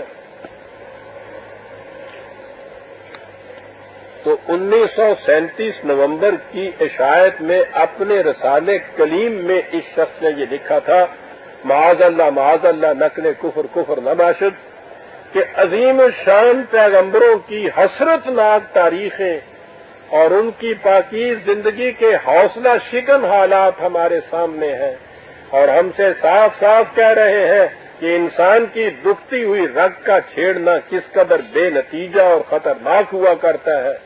مذہب کا بیان ہے کہ خدا نے انبیاء کے ذریعے نو انسان کی اصلاح کرنی چاہی تھی، کرنی چاہی تھی۔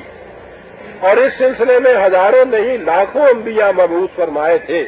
مگر اس کا نتیجہ کیا ہوا؟ اس کا جواب مجھ سے طلب نہ فرمائیے۔ عام انسانی حالات و میلانات کو دیکھ کر ذرا اندازہ لگا لیجیے کہ انسانیت کا سواد اعظم کس راستے پر گامزن ہے۔ اور عزیزہ نعمان جرت نہیں میں اپنے آپ میں پاتا جو ان کی اس نظم کو بھی پیش کروں۔ اس کا آخری مصرع یہ تھا خدا وہ نظم تھی خدا کی ناکامیاں۔ یہ عنوان۔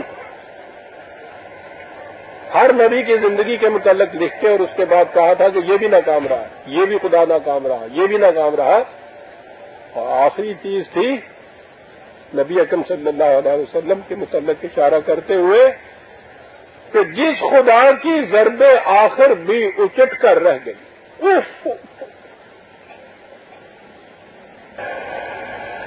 خدا اور اس کے رسولوں کے متعلق یہ خیالات میں کہہ یہ رہا تھا۔ ان لوگوں کی حالت کیا ہے؟ بڑی سازش کے ساتھ یہ کچھ یہ کر رہے ہیں۔ خدا اور رسولوں کے متعلق ان کے یہ خیالات۔ اور آپ کو یاد ہے، کسی نے بھی اس سے پہلے یا طلوع اسلام کے علاوہ کسی نے یہ باتیں آپ کو نہیں بتائی ہوں گی کہ یہ لوگ کیا وہاں لکھتے اور کیا کرتے چلے آ رہے ہیں اور ان کے عقائد کیا ہیں۔ خدا اور رسولوں کے متعلق یہ خیالات، اور اس کے باوجود آپ نے دیکھا ہوگا کہ وہ محرم کی مجلسوں میں کس طرح جھوم جھوم کر مرثیے پڑھتے اور اللہ صلی علی محمد وال محمد کے نعرے بلند کرتے ہیں۔ اپنے اسی ماہ نامہ کی دسمبر انیس سو سینتیس کی اشاعت میں انہوں نے مذہب اور وطنیت کے متعلق ان خیالات کا اظہار کیا تھا۔ کہ اپنے آپ کو مسلم یا ہندو پہلے اور ہندوستانی بعد میں کہنا جو ریاسائی صداقت اور فطری قانون کے بھی خلاف ہے۔ مذہب زیادہ سے زیادہ ایک ذہنی لباس ہے۔ اور لیکن قومیت اور وطنیت تو ہمارے بدن کی جلد ہے۔ بدن کی جلد کیسی؟ قومیت تو ہمارا گوشت اور ہمارا خیر ہے۔ لباس تو ہر وقت بدلا جا سکتا ہے یعنی مذہب۔ لیکن پوست اور خمیر کو کون بدل سکتا ہے؟ ایسا کیوں ہے؟ اس لیے کہ قومیت اور وطنیت ایک ایسی قدرتی چیز ہے جس کا تبدیل کر دینا طاقت بشری سے باہر ہے۔ کوئی نہیں اس شخص سے پوچھتا کہ تم انڈین نیشنلٹی کو چھوڑ کے جو اب قومیت پاکستانی اختیار کر لی ہے، یہ تو تم کہتے ہو طاقت بشریت سے باہر ہے۔ تو کوئی ماورائی طاقت تم سے یہ کچھ کرا رہی ہے جہاں مذہب اور قومیت کے متعلق اس عقیدے کے باوجود یہی شاعر انقلاب اس مملکت کے زیر سایہ عاطفت اس کے مرکز میں بیٹھے پرورش پا رہے ہیں جو مذہب کے نام پر حاصل کی گئی ہے اور جس کے دستور تک میں یہ شک موجود ہے کہ مملکت کا مذہب اسلام ہے۔ ان حضرات کی یہی ٹیکنیک ہے جس کی روح سے کیفیت یہ ہے کہ ایک طرف قوم کو مساوات محمدی اور اسلامی سوشلزم کا جھنجھنا دیا جاتا ہے اور دوسری طرف یہ اعلان کیا جاتا ہے کہ ہم اپنی بقا کی جد و جہد سے آگے بڑھ کر اپنی سر بلندی کی جد و جہد کا آغاز کر رہے ہیں اور یہ آغاز اس لمحہ ہو رہا ہے جب سرزمین ایشیا میں ویتنام اور کمبوڈیا کے مجاہدین نے مجاہدین نے وقت کے افق کو اپنے خون کی شعاؤں سے سرخ کر دیا ہے۔ جن نزلی دشمنوں سے ہمیں سابقہ ہے، ان سے نپٹنے کا راستہ روشن ہو چکا ہے۔ یہ پیام دے رہی ہے مجھے بعد صبح گاہی کہ اگر پاکستان کو جینا ہے اور سر بلند ہو کر جینا ہے، تو اسے ایشیا کے افق پر ابھری ہوئی سرخی سے اپنی مانگ بھرنی ہوگی۔ اور اس سرخی میں اضافہ کرنے کے لیے اپنے لہو میں نہانا ہوگا۔ آزادی اور انصاف کا یہ سورج تاریخ کی تاریخیوں سے ابھر تو آیا ہے، اب اسے جتنی جلدی ہم اپنی روحوں میں اتار لیں اچھا ہے۔ جتنی جلدی پاکستان میں سوشلزم آئے گا، اتنا ہی یہ سورج ہماری زمین سے ہم رشتہ ہوگا، اتنی ہی یہ زمین پھول پھل لائے گی۔ یہ اعلان کسی پرائیویٹ شخصیت نے اپنی نجی محفل میں نہیں کیا تھا۔ پنجاب کے سابق وزیر اعلی محمد حنیف رامے صاحب نے صوبائی پارلیمنٹ کے اجلاس میں انیس سو پچہتر چھتر کا بجٹ پیش کرتے ہوئے ببانگ دوہل یہ اعلان کیا تھا اور جو اس زمانے میں عام اخبارات کے اندر شائع ہوا تھا۔ اور اس کے تھوڑے ہی بعد انہوں نے اور اس کے تھوڑے ہی دنوں بعد قوم کو یہ دھمکی بھی دی گئی تھی کہ اگر اب اس سوشلزم کا راستہ روکا گیا جس کے بارے میں ہم اسلام کے حوالے سے بات کرتے ہیں، اسلام کے حوالے سے۔ سمجھ لیا نا یہ تکنیک جو ہے؟ سوشلزم کی بات اسلام کے حوالے سے کرتے ہیں تو اگر یہ اس کا راستہ روکا گیا تو پھر اس ملک میں کمیونزم آ جائے گا۔ یعنی اگر تم نے جھٹکے کا گوشت نہ کھایا تو پھر خنزیر کھانا پڑے گا۔ جی جلدی سے کھا لو جی ورنہ وہ کھانا پڑے۔ بات اسلام کے حوالے سے کرتے ہیں اور مانگ ہماری ایشیا سے نمودار ہونے والے سرخ سویرے سے بھرتے ہیں۔ جہاں تک جمہوریت ہماری سیاست کے منشوری دعوے کا تعلق ہے، اس کے متعلق انہوں نے فرمایا کہ جمہوریت ہماری اصل منزل سوشلزم کے حصول کے لیے پہلے پڑاؤ کی حیثیت رکھتی ہے۔ سوشلزم کے قائد یہ جانتے ہیں کہ سوشلزم کا انقلاب ہمیشہ دو منزلوں میں آیا کرتا ہے۔ پہلا مرحلہ قومی سطح پر جمہوری انقلاب مکمل کرنا ہوتا ہے اور دوسرا مرحلہ سوشلسٹ انقلاب ہے۔ سوشلسٹ انقلاب کبھی پہلے مرحلے پر نہیں آتا۔ تو گویا جمہوریت ہماری سیاست بھی اس منزل تک پہنچنے کے لیے ایک ذریعہ تھا۔ یہ بھی انہی رام صاحب نے یہ فرمایا تھا۔ تھا زور سے کہتا ہوں اب میں۔ ہوتی جی ہے، فرمایا تھا۔ میری بچپن کی تعلیم، میرے دادا رحمہ کے زیر تربیت و سایہ عاطفت ہوئی۔ انہیں سے میں نے یہ طرح تعلیم پائی۔ قرآن کریم میں اب تک مجھے یاد ہے، بہت چھوٹا سا تھا۔ وہاں یہ آیا کہ کافر مسلمانوں پر کبھی غذبہ حاصل نہیں کر سکیں گے۔ اس کے بعد قرآن کریم میں سے انہوں نے، زیادہ جان نے، مسلمانوں کی خصوصی، مومنین کی خصوصیات ایک ایک کر کے گنائی، میرے سامنے لائی۔ میں نے سننے کے بعد ان سے کہا کہ دادا جان، یہ اگر مومنین کی خصوصیات ہیں تو مجھے تو آج پھر یہاں دنیا میں کوئی مومن نظر نہیں آتا۔ تو وہ جو وعدہ تھا خدا کا کہ کفار کبھی مسلمانوں پر مومنین پر غالب نہیں آئیں گے، جب مومن ہی اس خصوصیت کا نہیں ہے، تو پھر تو یہ کھا جائیں گے ہمیں، مجھے اب تک یاد ہے ان کا فکرہ ساری عمر۔ کہنے لگے، بیٹا، بات تو تم نے یہ ٹھیک کہی ہے، لیکن مطمئن رہو کہ اگر آج تمہیں کہیں کوئی مومن خالص نظر نہیں آتا تو شکر کرو کہ کافر صادق بھی آج کہیں نہیں نظر آ بڑی عجیب بات تھی۔ آج کوئی خطرے کی بات نہیں ہے۔ یہ کل ہی ابھی انہوں نے مئی جون کے اندر جو بجٹ کے پارلیمنٹ کے اندر کہا تھا۔ علامہ اقبال نے بال جبریل میں ایک نظم لکھی ہے، بڑی عجیب نظم ہے۔ وہ تقدیر کے عنوان سے ہے بال جبریل میں ہے یا ضرب کلیم میں ہے؟ بڑی عمدہ نظم ہے۔ ابلیس نے جب سجدے سے انکار کیا تھا، تو پہلے دلیل دی تھی یہ کہ آدم کو تم نے مٹی سے پیدا کیا، مجھے آگ سے پیدا کیا۔ آگ مٹی سے افضل ہوتی ہے، لہذا افضل مقصول کے سامنے سیدھا نہیں کر سکتا۔ یہ ایک ریشنل دلیل تھی ریزن تھا۔ جب اس کے بعد یہ دھتکارا گیا ان کو کہ جو شخص یعنی وہ کہا گیا راندہ درگاہ بات تو دوسری ہے نا، میں نقطہ صرف واضح کرنا چاہتا ہوں۔ جب کہا گیا کہ تم نے یہ کیوں سجدہ نہیں کیا ہمارے حکم کی معاشیت کی؟ اس نے کہا کہ بارے الہ میں کون ہوں جو کرنے والا؟ تو کہ مطلب تیرے حکم کے بغیر تو ایک ذرہ بھی نہیں اپنی جگہ سے ہل سکتا۔ یہ تو تیرے حکم تھا، تو نے مجھ سے یہ کرایا، میں کہاں یہ کر سکتا تھا؟ اس پہ انہوں نے بڑا پرست یہ کہا ہے۔ اس سے یہ پوچھا گیا کہ یہ بات جو تم نے کہی ہے کہ میں ذمہ دار نہیں ہوں، یہ اس نے کرایا تھا، یہ بات انکار سے پہلے تمہارے ذہن میں تھی یا انکار کے بعد؟ وہ کہتا ہے کہ انکار کے بعد، وہ کہتا ہے فٹے نہیں تیرا۔ ظالم اپنے شولہ جولہ کو خود کہتا ہے، دودھ، اگر اسی بات کے اوپر تو رہتا کہ میں اس کا ذمہ دار ہوں۔ میں نے اپنے ارادے سے ایسا نہیں کیا، تو مومن نہیں بنتا تھا، کافر تو بن جاتا۔ اور کم وقت تو تو دار کفر ہم پختہ نہیں۔ زنار را رسوا مکن۔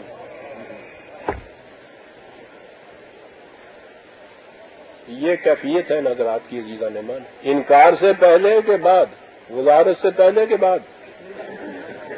بعد وہ کہتا ہے بعد میرے اندر۔ کہا، لانے تو عزیزہ نے من، یہ چیز کل کہی گئی تھی۔ میں ان سیاسیات میں، شخصیات میں نہیں آیا کرتا۔ یہ شخصیات نہیں ہے یہ ایک تحریک ہے جو آپ کے پاکستان میں بڑے زور سے چل رہی ہے۔ اور اندازہ لگا لیجیے، ان کا جو کل یہ کہہ رہے تھے ابھی، کہ اس کا اگر راستہ روکا گیا تو پھر پوچھو نہیں کیا یہاں انقلاب ہوگا اور کیا آ رہا ہوگا۔ آج ہی ان کی یہ کیفیت، آپ نے وہ پریس کانفرنس، وہ دونوں کی کٹھی پڑھ لی ہوگی نا۔ کہاں آ کے مل بیٹھے ہیں؟ تو ایک سے کہا گیا اسلامی سوشلزم، وہ کہتا ہے اسلامی سوشلزم کو شاہی نہیں ہے۔ پھر ایسے من کر دونوں کٹھے بیٹھے۔ وہ ان سے کہا گیا کہنے لگے کہ یار، بات یہ ہے کہ یہ سوشلزم، اسلامی سوشلزم نے قوم کو خام خواہ کے بیکار جھگڑوں میں الجھا دیا ہوا ہے۔ ہم آئندہ جو اپنے ہاں کی پالیسی کریں گے، اس میں ان چیزوں کا کوئی دخل ہی نہیں ہوگا صاحب چال بھائی، معاملہ ختم۔ وہ موزے تنگ ان کو کہا کرتا تھا، پیپر ٹائیگر، مخالفین کو۔ اقبال ان کو شیر قالین کہا کرتا تھا۔ تو شیر بھی نہیں نکلتے یہ۔ قوم من حیثن قوم جب کردار کی پستی پہ چلی جائے، تو ان کے ہاں یہ کیفیت ہو جاتی ہے۔ صاحب ان میں بھی یہ چیز نہیں کہ اپنے اس کفر میں ہی اخلاص ہو۔ ذرا سی چیز ادھر سے حالات تبدیل ہو سارے نظریے، سارے مسئلے جو بنیادی تصورات کیا کے گنائے جا رہے تھے، دس برس سے یا کتنے برسوں سے یہ اس نظر سے لا کے لا کر قوم کو یہ دے رہے تھے۔ وہ ایک ہی دھکے کے اندر صاحب، وہ ساری کی ساری عمارت ڈہ گئی۔ کانوں پہ ہاتھ رکھتے ہوئے وہ یہ کہہ رہے ہیں کہ بندہ ہنسی نہیں بندہ ہنسی نہیں وہ ایک ڈاک نے بڑا عمدہ شیر لکھا۔ کہ یہ عاشقوں کا ہجوم جو تھا، وہ اتنا انہوں نے گھیرا جا کے کہ قرآن اٹھا رہے ہیں کہ بندہ ہنسی نہیں بندہ ہنسی نہیں۔ ہم قرآن اٹھا رہے ہیں کہ ہم سوشلسٹ نہیں ہیں عزیزہ نے بار آج تاریخ آپ کے یہاں یہ جاری ہے، اس فریم میں نہ آ جائیے گا۔ یہاں میں ایک چیز واضح کر دینا چاہتا ہوں، اور پھر اس میں نہ آ جاتی ہے۔ یہ زینو صاحب نے پاکستان ٹائمز کی تیئیس اکتوبر کی شاید میں ایک مضمون لکھا ہے۔ I election fall out. اس میں انہی کے کردار پر کچھ تنقید کی گئی ہے۔ مجھے اس سے واسطہ نہیں۔ اس میں انہوں نے لکھا یہ ہے، mister Ramay has a fairly good command of the political and economic ideas of mister Ghulam Muhammad Parvez. Mister Ramay کو مسٹر غلام محمد پرویز کے سیاسی اور ایک معاشی نظریات کے اوپر اچھا کمان حاصل ہے، وہ جانتے ہیں۔ اور آگے لکھا ہے کہ with whom Mr Ghulam Ahmad Parwez, with whom he was for a time associated in the Tolu Islam movement Mr Hanif Ramay جو پرویز صاحب کی طلوع اسلام تاریخ کے ساتھ وابستہ رہے ہیں ایک وقت میں۔ میں یہ عرض کر دینا چاہتا ہوں، ان کی اطلاع کے لیے آپ احباب کے سامنے شہادت دے کے کہ مسٹر حنیف رامے کبھی طلوع اسلام کی تاریخ کے ساتھ وابستہ نہیں رہے اور میں سمجھتا ہوں کہ اللہ تعالیٰ کے جو مجھ پر اتنے احسانات ہیں، ان میں یہ بھی ایک احسان ہے کہ اس جگہ تک تاریخ کے ساتھ نہیں رہے۔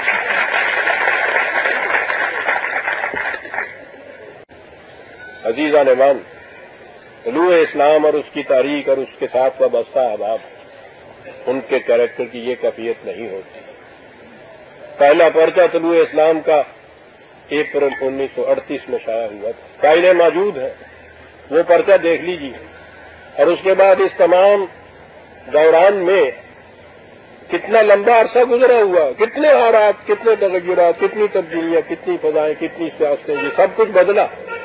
آج آپ طلوع اسلام کا اکتوبر انیس سو پچہتر کا پرچہ اٹھا کے دیکھیے اور مئی، اپریل اٹھتا تھی جو بات اس وقت کہی گئی تھی، وہی بات آج کہی جا رہی ہے، وہی بات اس ساڑھے چالیس سال کے عرصے میں کہی گئی ہے اس میں کچھ طلوع اسلام کا یا میرا کریڈٹ نہیں۔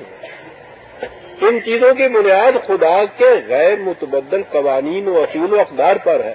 کیونکہ وہ نہیں بدلتے، اس لیے سوال ہی نہیں ہے کہ طلوع اسلام کے اندر بیس قسم کی تعلیم کی آ جائے۔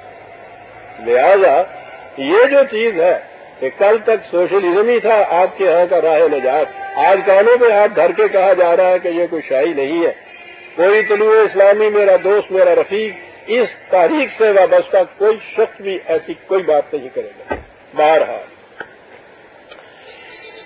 یہ تھا تاریخ پاکستان کا پہلا ستون۔ وجود پاکستان کی عمارت کا دوسرا ستون یہ تھا کہ مسلم قومیت کی بنیاد دین کی وحدت ہے، وطن کا اشتراک نہیں۔ اور دین کی وحدت کا اولی مفہوم یہ ہے کہ مسلمان مختلف قومیتوں میں نہیں بڑھ سکتے۔ اس نظریہ کی بنا پر اور کچھ نہیں تو کم از کم مغربی پاکستان کے مسلمانوں کو ایک مستقل قوم قرار دیا جانا ضروری تھا۔ وحدت دین کو بھی چھوڑیے۔ کم از کم وحدت وطنیت کی بنا پر بھی یہاں کے باشندوں کو ایک قوم تسلیم کر لینا چاہیے تھا، لیکن یہاں ایک اور سازش کی گئی۔ آپ نے غور فرمایا میں نے کیا عرض کیا ہے؟ بنیاد اسلامی تو یہ تھی کہ ایمان کے اشتراک کی بنیاد پر تمام روئے زمین کے مسلمان ایک قوم۔ کم از کم بہرحال اب مغربی پاکستان میں بسنے والے مسلمان ہی صحیح وہ تو ایک قوم۔ اور یہ جغرافیائی حدود کے اندر بسنے والے ایک قوم، یہ تو جو سیکولر جمہوریت آپ کے ہاں کی ہے، اس میں بھی یہ مسلمہ ہے۔ لیکن یہاں دیکھیے کیا کیا گیا۔ سازش کہاں سے آئی؟ مشہور روسی مصنف گانکو ویسکی نے اپنی دو کتابیں تاریخ پاکستان اور پاکستان کے عوام، روسی مصنف پاکستان پہ کتابیں لکھ رہا جی۔ ہوئے تم دوست جس کے؟ اس کا دشمن آسمان کیوں ہو؟ کیا بات کیا گیا یہ فتنہ آدمی کی خانہ ویرانی کو کیا کم ہے؟ ہوئے تم دوست جس کے؟ اس کا دشمن آسمان کیوں ہو؟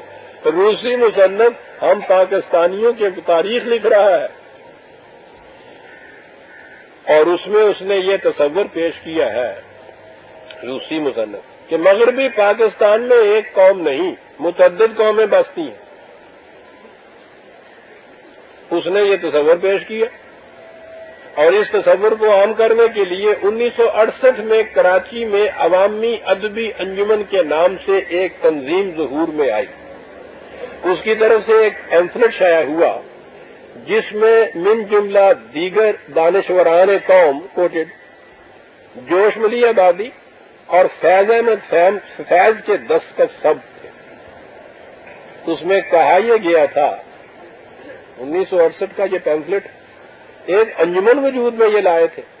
اس میں کہا یہ گیا تھا کہ ہمارے نزدیک اس جمہوری آزادی میں قوموں کی ترقی کا مسئلہ بھی شامل ہے۔ ہم چاہتے ہیں کہ ہمارے ملک میں جو مختلف قوموں کا وطن ہے وہ حالات پیدا کیے جائیں کہ سب قومیں ان کی زبانیں اور تہذیبیں کسی ایک قوم کے اثر اور تسلط سے آزاد ہو کر خود مختارانہ ترقی کر سکیں۔ اس لیے ہم ادیب ادیب، تمام قوموں کے لیے یکساں داخلی خود مختاری اور ان کی زبانوں کے لیے تعلیم، دفتر اور ملازمتوں کی زبان بننے کا حق چاہتے ہیں۔ ہمارے نزدیک پاکستان کی تمام قومیں مساوی حقوق کی مالک ہے۔ جی وہاں سے وہ آتا ہے، گھر سے آیا ہے موتبر نائی، روس سے وہ تصنیف آتی ہے، پاکستان کی قومیت ہے، یہاں انجمن بنتی ہے، پینسلر شاہ کرتی ہے، گمنام نہیں، دستخطوں کے ساتھ۔ ان دستخطوں میں سر سر یہ حضرات ہیں، دونوں اسلام آباد میں بیٹھے ہوئے۔ ان حضرات کی ضرورتیں کس قدر بے باک ہو گئی ہیں، اس کا اندازہ کرنے کے لیے ہمیں کہیں دور جانے کی ضرورت نہیں۔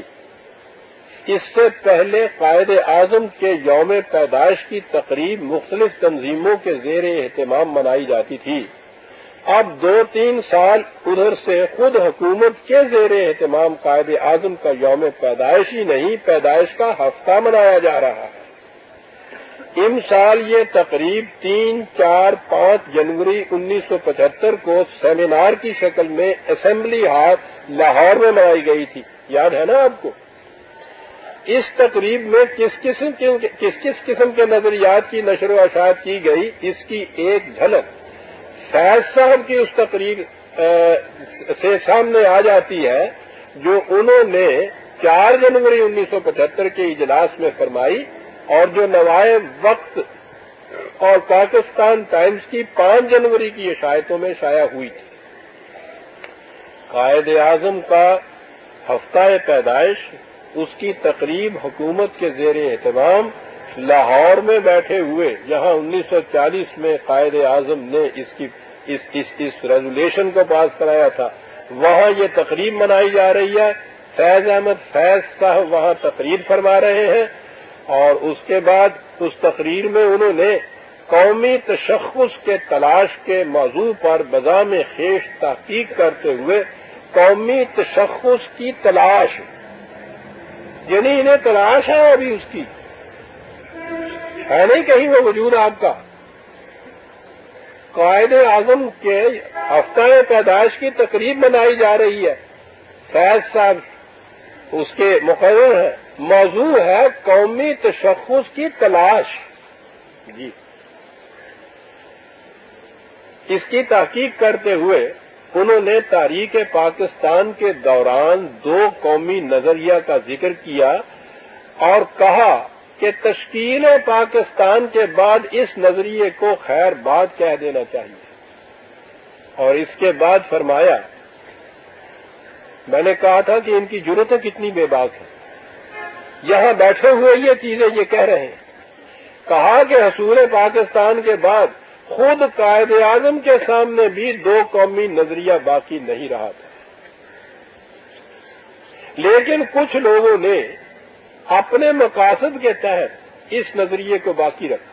بہرحال، پاکستانی قوم کا تشخص وہی ہے جو قائد اعظم نے دیا تھا۔ یعنی وہ دھرتی جس کا نام پاکستان ہے، وہاں جو بھی رہتا ہے، وہ پاکستانی قوم کا فرد ہے اور یہی یہی دھرتی قومیت کا معیار۔ ہے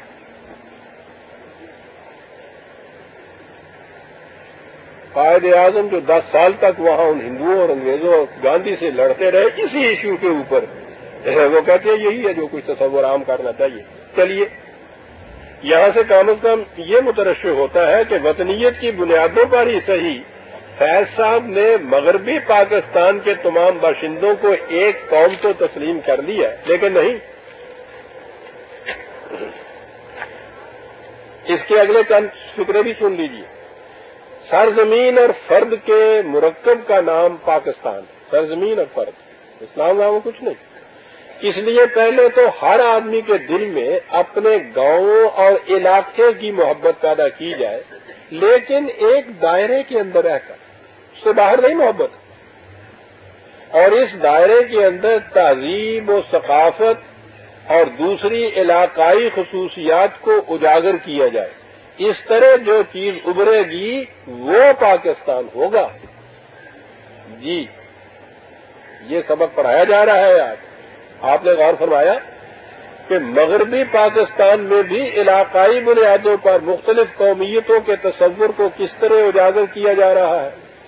فیض صاحب اسلام آباد ہی میں فروکش ہے اور ایسا نظر آتا ہے کہ حکومت کے ذرائع ابلاغ، ریڈیو ٹیلی ویژن اور حکومتی زیر اثر پریس ان کی زیر ہدایت مختلف قومیتوں کے نظریے قیام کرنے میں سرگرم عمل ہے۔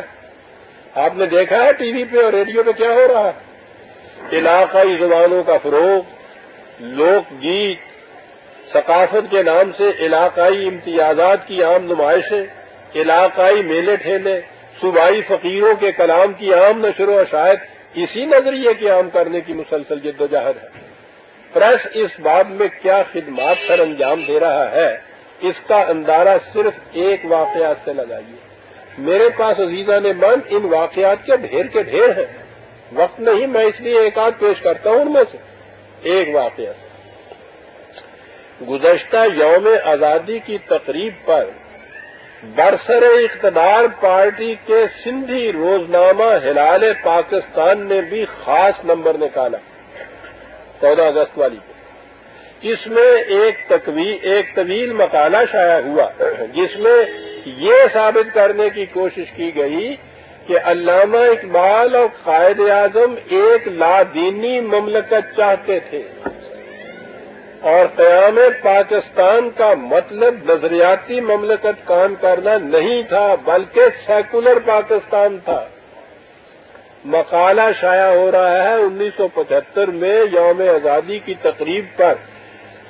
برسر اقتدار پیپل پارٹی کے ترجمان حلال پاکستان اخبار کے اندر یہ مقالہ شائع ہو رہا ہے کہ وہ یہاں سیکولر نظام قائم کرنا چاہتے تھے۔ الفاظ سنیے۔ نظریہ پاکستان کا نعرہ ملک کے دو حصوں کو جمع نہ رکھ سکتا تھا۔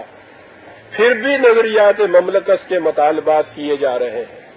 نظریہ پاکستان یا ایک مذہبی مملکت کا نظریہ نہ صرف تاریخ کو غلط رنگ میں پیش کرتا ہے، بلکہ گھٹیا سوچ بھی پیدا کرتا ہے۔ گھٹیا سوچ مکانہ نگار کا دستے بے بات گریبان قائد اعظم تک بھی جا پہنچا۔ اس نے لکھا کہ پاکستان میں اسلامزم والے نظریے اور نظریاتی ملک کی تردید کتنے ہی مواقع پر قائد اعظم نے خود کی تھی۔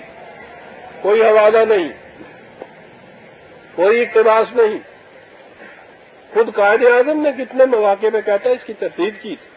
پاکستان کی جد و جہد جیسے جیسے بڑھتی گئی ویسے ویسے قائد اعظم کا پاکستان کا صحیح تصور قائد اعظم پاکستان کا صحیح تصور پیش کرنے لگے اور سیکولرزم اور لادینیت پر زور دینے لگے۔ یہ دن آورس دوسرے کے بکاستر آگدار عزیزہ نے من، آپ غور فرمائیے کہ پاکستان میں بیٹھ کر بانی پاکستان کے خلاف اس قدر کھلی ہوئی اختار پردازی اور الزام تراشی کی جرت کس قسم کی سازشوں کی غماز ہے؟ چلتے چلتے ایک اور بات بھی ذہن میں رکھی ہم نے اوپر کہا ہے کہ قائد اعظم کے یوم پیدائش کی تقریب میں کس قسم کے خیالات پیش کیے جاتے ہیں؟ اب حکومت نے اعلان کیا ہے کہ انیس سو چھہتر میں قائد اعظم کے یوم پیدائش کا سب سالہ جشن منایا جائے گا۔ اور اس سلسلے میں تاریخ پاکستان کی تاریخ اور بانی پاکستان کے سوانح حیات مرتب و مدون کر کے کتابی شکل میں پیش کیے جائیں گے۔ یہ خدمت بھی فیض احمد فیض اور ان کے اس انداز کے ہم نواؤں کے سپرد کی جا رہی ہے، جن کی فکر اور زاویہ نگاہ کا نمونہ اوپر پیش کیا گیا ہے۔ اس سے آپ اندازہ لگا لیجیے کہ آئندہ سال کے مجوزہ جشن کی تقریب پر تاریخ پاکستان اور قائد حیات قائد اعظم کو کس رنگ میں پیش کیا جائے گا؟ ڈھاکہ کے طالب علم عزیز الرحمان کو اس کے اس خط کو ایک بار پھر سامنے لائیے، جس کا اقتباس پہلے پیش کیا جا چکا ہے۔ اس کے آخر میں اس نے کہا تھا کہ یہی خیالات اب سندھ میں بھی عام ہو رہے ہیں۔ سندھ میں یہ سازشیں کس طرح روب عمل ہے ان کی تفصیلات بہت کم سامنے آتی ہیں۔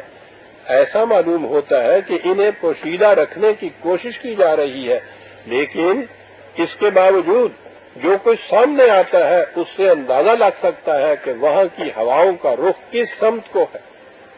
اس اجمال کی تفصیل گزشتہ دو تین برس سے طلوع اسلام کی مختلف شایتوں میں مسلسل پیش کی جا رہی۔ یہاں ان میں سے صرف ایک مثال کا دوہرا دینا کافی ہوگا۔ وہاں جے سندھ متحدہ محاذ کے صدر مسٹر جی ایم سید نے اکتیس مارچ انیس سو تہتر کو سندھ یونیورسٹی میں سندھی شام کے موقع پر ایک تقریر کی تھی جس میں انہوں نے اپنے تمام نظریات ایک ایک کر کے پیش کیے تھے مثلا انہوں نے کہا یہ تھا کہ سندھی قوم پرستی کے بنیادی اجزاء حسب ذیل ہیں سندھی قوم الگ اور اس کے اجزاء یہ۔ اجزاء یہ ہے کہ پاکستان ایک ملک نہیں بلکہ چار جدا گانا ملکوں کا مجموعہ ہے۔ اس میں یقین رکھنا یہ پہلا جز۔ دوسرا، سندھی، وطن، زبان، کلچر، تاریخی روایات اور سیاسی اور اقتصادی مفاد کی بنیادوں پر جدا گانا قوم ہے۔ تیسرے سندھی جدا گانا حیثیت میں اپنے مستقبل کا فیصلہ کرنے کا حق رکھتے اور ہماری آپ نے، اسلامی آئین اور اسلامی حکومت کے متعلق انہوں نے کہا، کیا کہا؟ کہا کہ ان کا کوئی وجود ہی نہیں۔ ان کے الفاظ ہے کہ جو لوگ ایسی باتیں کرتے ہیں، وہ یا تو بیوقوف ہے یا دھوکہ باز۔ جی ایم سید سندھ میں بیٹھا ہوا یہ باتیں کہہ رہا ہے۔ اس کے بعد انہوں نے کہا کہ سندھیوں کے پاس ہر آنے والی حکومت کی پالیسی کو جانچنے کے لیے کچھ معیار ہونے چاہیے جن کے مطابق غلط اور صحیح ہونے کا فیصلہ کیا جائے۔ انہوں نے کہا کہ میری نظر میں وہ معیار یہ ہے، کون سی حکومت یہاں صحیح ہو سکتی ہے؟ سنیے معیار۔ نظریہ پاکستان میں اعتماد رکھنے والی حکومت سندھیوں کو کبھی فائدہ نہیں پہنچا سکتی۔ مضبوط مرکز میں اعتماد رکھنے والی حکومت سندھ کی دشمن۔ اسلامی آئین یا اسلامی حکومت پر یقین رکھنے والی حکومت سندھ کے لیے سخت نقصان دہ ہے۔ اور سندھیوں کی جدا گانا قوم اور سندھو دیش سے انکار کرنے والی حکومت سندھ دشمن شمار کی جا سکتی ہے۔ جی یہ انیس سو تہتر کی بات تھی۔ حال ہی میں جے سنگھ اسٹوڈنٹ فیڈریشن کے صدر مسٹر ضمیر لاڑک کا ایک انٹرویو سندھی ہے۔ ہفتہ وار اداکار لاہور کی اکتیس اکتیس اگست کا چھ ستمبر انیس سو پچہتر کی اشاعت میں شائع ہوا ہے۔ اس میں ایک سوال کے جواب میں اس طالب علم نے کہا ہے کہ شیخ مجیب الرحمان علیحدگی نہیں چاہتا تھا، لیکن اسے علیحدگی کے لیے مجبور کر دیا گیا۔ اسی طرح اگر ہمیں مجبور کیا گیا تو ہم بھی علیحدہ ہو جائیں گے۔ اگست انیس سو پینسٹھ میں یہ بات انیس سو پچہتر میں یہ بات کہی جا رہی ہے عزیزہ بند یہ ہے وہ ہوائیں جو مغربی پاکستان میں کئی برسوں سے چل رہی ہیں۔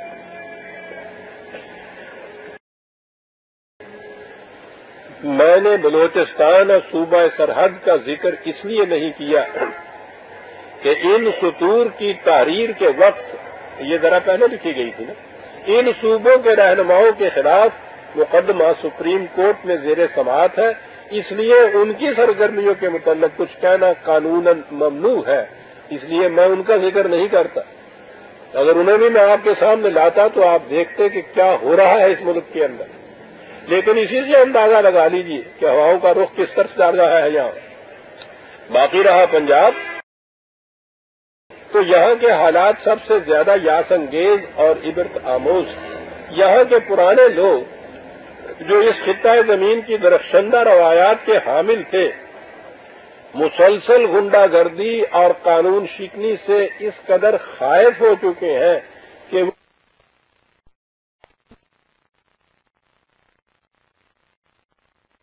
کو امام احمد بن حنبل اور امام ابن تعمیہ کا ہم پایا۔ مزاج شناس رسول، حتیٰ کہ اللہ کا شاہکار بنا دیا گیا۔ ادھر مودودی صاحب کی کیفیت یہ ہے کہ ان کا اسلام ان کی مسلحتوں کے تابع، جسے وہ حکمت عملی کی اصطلاح سے تعبیر کرتے ہیں، ہر آن بدلتا رہتا ہے۔ انہوں نے ان نوجوانوں کو تعلیم یہ دی ہے کہ جماعت سازی کے سلسلے میں یہ ان کے اپنے الفاظ ہیں جو چھپے ہوئے۔ جماعت سازی کے سلسلے میں بڑے بلند آہنگ اور مقدس اصول پیش کرنے چاہیے، لیکن جب ان پر عمل کرنے کا وقت آئے تو انہیں بالائے طاق رکھ کر حکمت عملی سے کام لینا چاہیے۔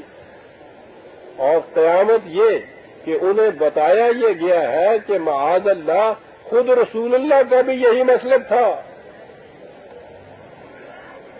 ریزا نے مان آپ دیکھتے ہیں ہماری اس نوجوان نسل کے ساتھ کیا ہو رہا ہے بیچاروں کے ساتھ۔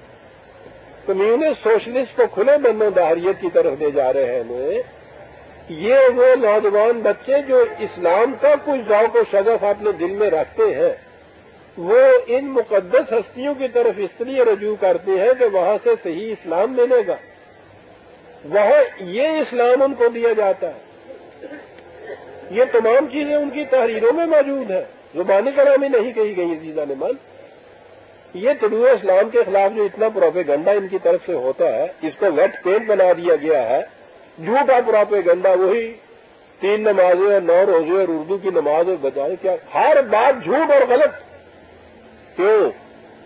انہوں نے تعلیم یہ دی ہے ان نوجوانوں کو کہ زندگی کی اہم ضروریات کے لیے جھوٹ بولنے کی نہ صرف اجازت ہے بلکہ ایسے مواقع پر جھوٹ بولنا شرن واجب ہو جاتا ہے۔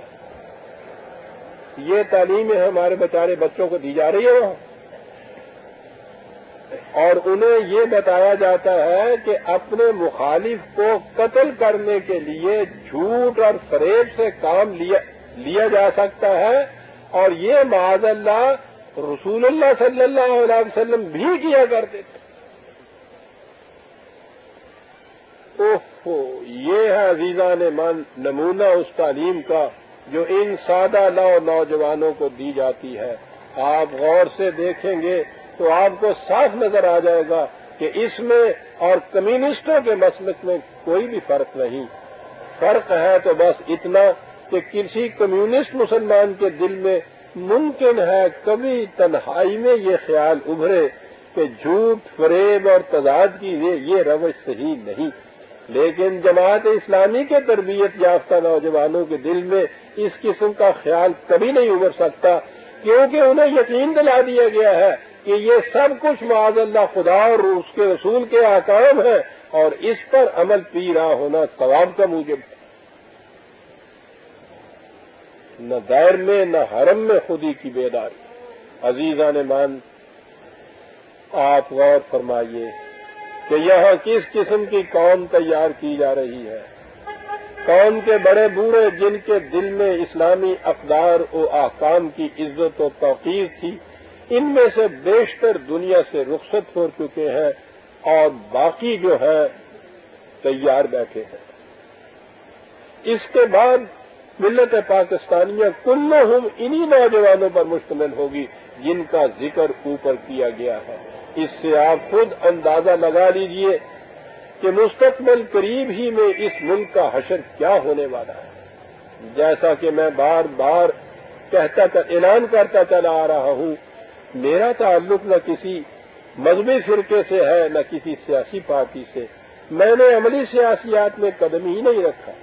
میں نے تحریک پاکستان کی امکان بھر تائید کی تو اس یقین کی بنیادوں پر کہ اس سے ایک ایسا خطہ زمین حاصل ہو جائے گا جس میں قرآنی نظام کے احیاء اور تمکن کا امکان ہوگا۔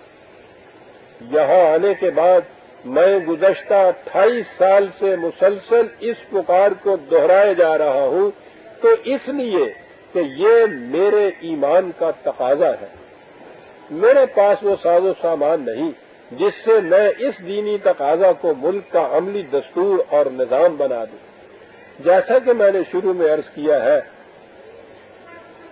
اس مقصد کے حصول کے لیے جس کی خاطر یہ مملکت میں وجود میں لائی گئی تھی، ایک اور صرف ایک طریقہ تھا، اور وہ یہ کہ ہم اپنے، اپنی آنے والی نسلوں کی تعلیم و تربیت کا ایسا انتظام کریں کہ قرآن اقدار کی پابندی ان کی زندگی کا تقاضا بن جائے۔ ہم نے اس سے تغافل برتا۔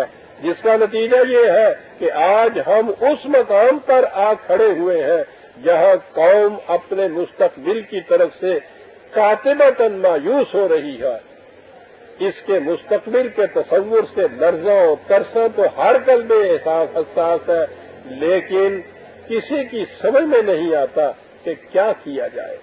اور نہ اقامت دین کے مدعیوں کے قلب میں ان میں معاف رکھیے گا کہ کسی کی سمجھ میں یہ بات نہیں آ رہی کہ کیا کیا جائے۔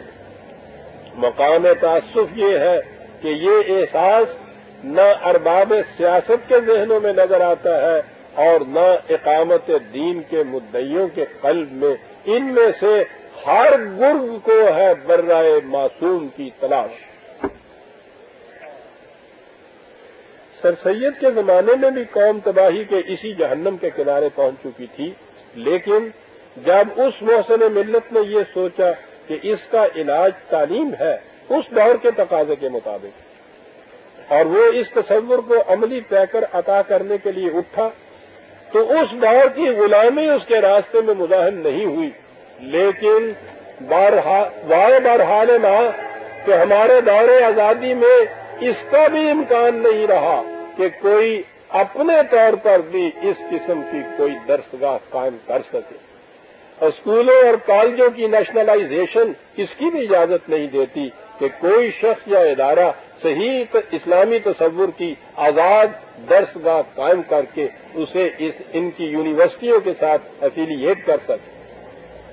ایسی درسگاہ جس میں محدود پیمانے پر ہی صحیح اس بلند نصب العین کو جو نوجوانوں کی زندگی کا نصب العین بنایا جائے، جو پاکستان کے حصول کا بنیادی نصب العین تھا، اسے نوجوانوں کی زندگی کا نصب العین بنایا جا سکے، یہ تھا مقصد اس تعلیم سے جو اس درسگاہ میں دیے جانے کا تصور ذہن میں تھا۔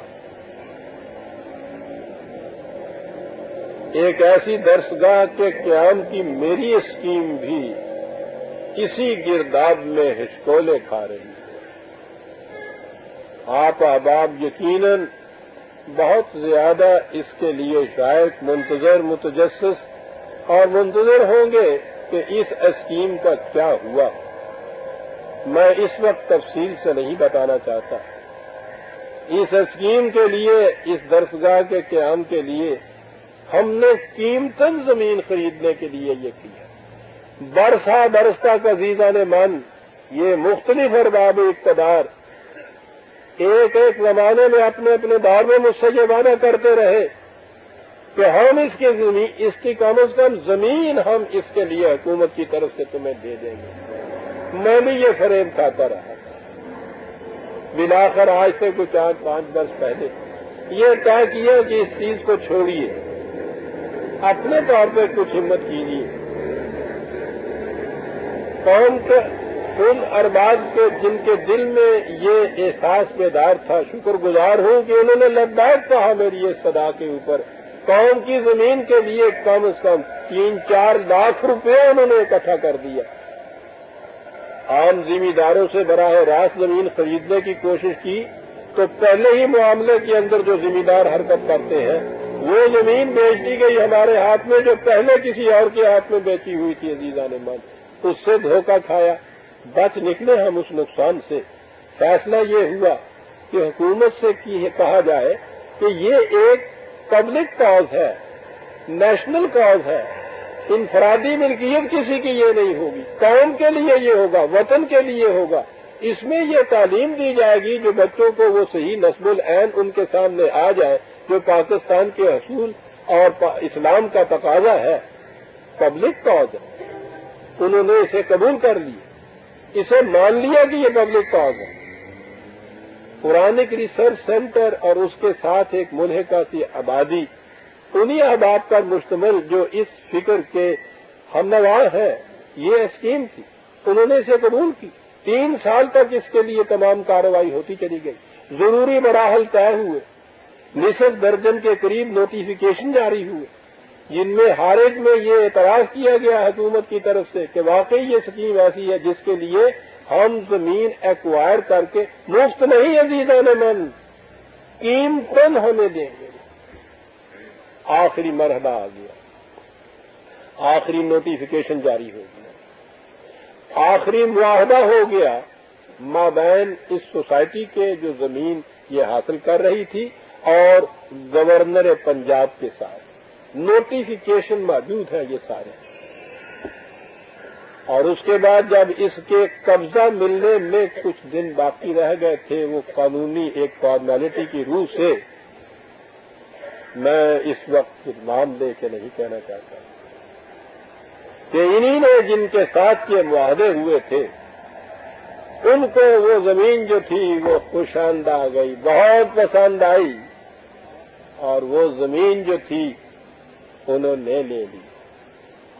کہا گیا کہ قانون تو ایسا کیا نہیں جا سکتا۔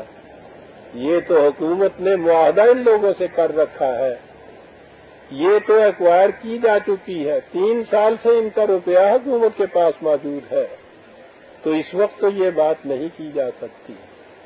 جواب دیا گیا کہ اگر اس سکیم کے تحت یہ نہیں دی جا سکتی تو اس سکیم کو ہی کالا دم قرار دے دیا جائے، صاحب۔ اور آپ حیران ہوں گے کہ یہاں کے کمشنر صاحب نے جن کے ساتھ یہ سارے معاملے شروع سے آخر تک ہو رہے تھے، ایک نوٹیفیکیشن بغیر اس سوسائٹی کو بتائے ہوئے، بغیر ان سے پوچھے ہوئے، ایک نوٹیفیکیشن جاری کر دیا کہ یہ سکیم ہی کالے بند قرار دی جا رہی ہے۔ کس کس کا رونا رویا جائے جیتا نے من؟ میں صرف اختصارن عرض کر رہا ہوں، یہ جو آباد کوآپریٹو سوسائٹی جو یہ زمین حاصل کر رہی تھی پورانک ریسرچ سینٹر کے لیے اور اس آبادی کے لیے، ان کی ایک جنرل میٹنگ آج ہی ان کے اپنے اراکین پر مشتمل اسی پنڈال میں غالباً دو بجے کے قریب ہو رہی ہے۔ اس میں ان کے سیکرٹری صاحب یہ پوری رپورٹ پیش کریں گے۔ اس کا ملخص میں نے آپ کے سامنے پیش کر دیا۔ بہرحال ہم تو مایوس ہونے والے لوگ لوگ نہیں ہیں۔ بڑے ٹھیک واقع ہوئے ہیں جی کیا کیا جائے؟ ایمان کا تقاضا جہاں آ جاتا ہے جی پھر تو یہ سب کچھ برداشت کرنا پڑتا ہے۔ ہم مایوس نہیں ہوئے، ہم نے یہ تقاضا چھوڑا نہیں ہے۔ آگے بڑھ رہے ہیں، ہم اس کو آگے تک لے جائیں گے۔ ہم لے جا رہے ہیں اس کو آگے تک، عزیز عالمان ٹھیک ہے، یہاں کہہ دیا گیا کہ قانون اجازت نہیں دیتا سکیم ہی کا تم دے دو۔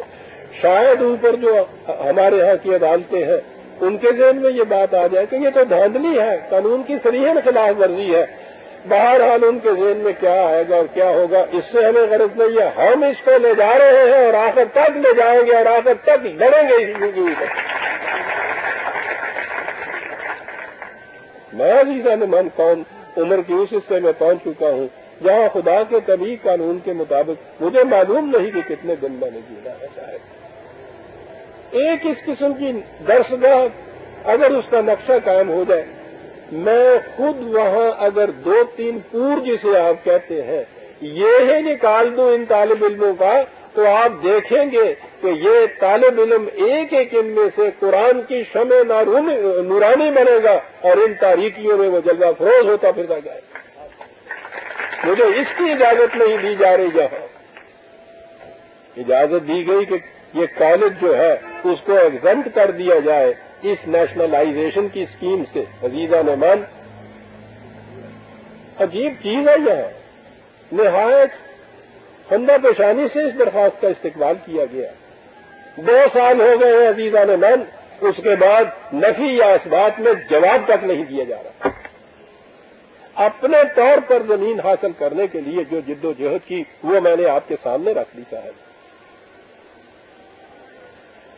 بہرحال یہ ہے عزیزان مان اس خواب کی تعبیر جسے آج سے پینتالیس سال پہلے حکیم الامت کی نگاہ جہاں نے دیکھا اور بانی پاکستان کی فراست نے جہان ناؤ کی شکل میں پیش کیا تھا۔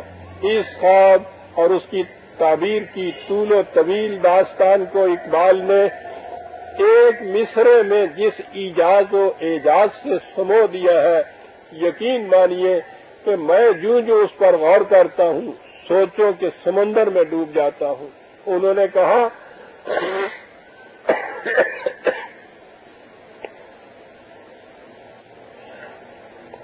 اللہ تعالیٰ نے ان کو یہ عجیب صلاحیت عطا فرمائی تھی کہ وہ اتنی بڑی تفصیلی چیز کو چند لفظوں میں ادا کر دیتے تھے۔ انہوں نے لکھا ہے کہ یہ ملت اسلامیہ، ان کی داستان اور اس کے بعد اس کا محال یہ کیا ہے؟ کن الفاظ میں بیان کروں؟ الفاظ یہ ہے کہ خادم سے یاد رفتہ ہو، تعبیر و مارزوس ایک چیز ہے جو دل سے نکل گئی۔ ایک خواب آیا تھا انسانیت کو۔ مجھے خواب میں بھول گیا ہوں۔ اور ہر ایک سے پوچھتا ہوں میرے خواب کی تعبیر کیا ہے، میرے خواب کی تعبیر کیا ہے؟ جب وہ کہتا ہے وہ خواب کیا تھا، تو کہتا ہوں وہ خواب تو میں بھول گیا ہوں۔ بھولے ہوئے خوابوں کی تعبیریں ہم ان سے پوچھ رہے ہیں ابھی والے کیا بات ہے؟ خواب ہم یاد رکھتا ہو تعبیر مارزوس لیکن مجھے عزیزان من نہ وہ خواب بھولا ہے اور نہ ہی میں اس کی تعبیر کی طرف سے مایوس ہوں۔ امید تو وقت کی زنجیروں میں جکڑی ہوتی نہیں نہ ہی اسے پیمانہ امروز و پردہ سے ماپا جاتا ہے۔ یہ تو زندگی کی جو رواں کی طرح جاویدام پہم دواں، ہر دم جمع رہتی ہے۔ حقیقت یہ ہے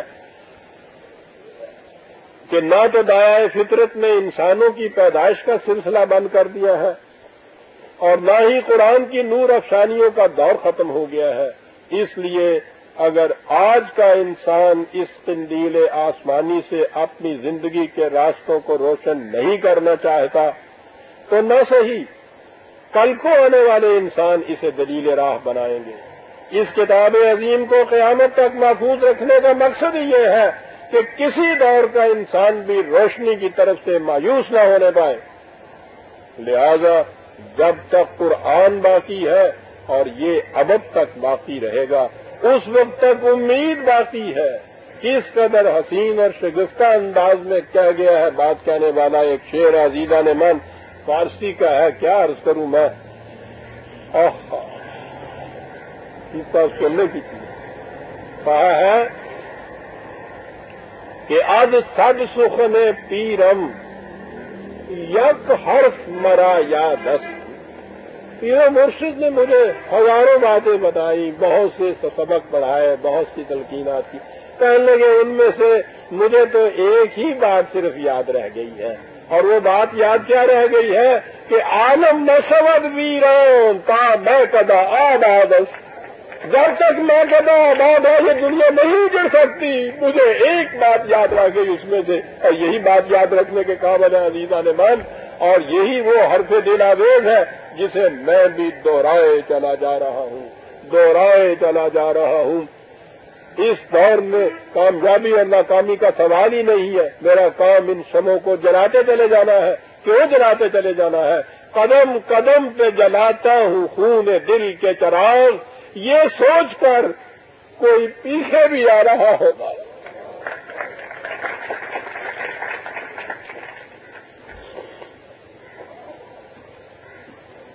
قرآن کریم نے ایمان بالآخرت پر جو اس قدر زور دیا ہے، تو اس سے مقصد یہی ہے کہ اگر آج کا داؤ تمہارے مقاصد کے لیے سازگار نہیں، تو مایوس نہ ہو، اپنی نگاہ مستقبل پر رکھو۔ یہی مستقبل پر ایمان ہے عزیزان من، جو مجھے کبھی مایوس نہیں ہونے دیتا۔ لہذا نجوم بجھتے رہے تیر گی امڑتی رہے۔ مگر یقین سہر ہے جنہیں اداس نہیں۔ ولا تہلو ولا تہزنو وان تم لانا ان کن تم مومنین۔ اور یہ ہے عزیزہ نے من، میری آج کی گزارش۔ السلام علیکم۔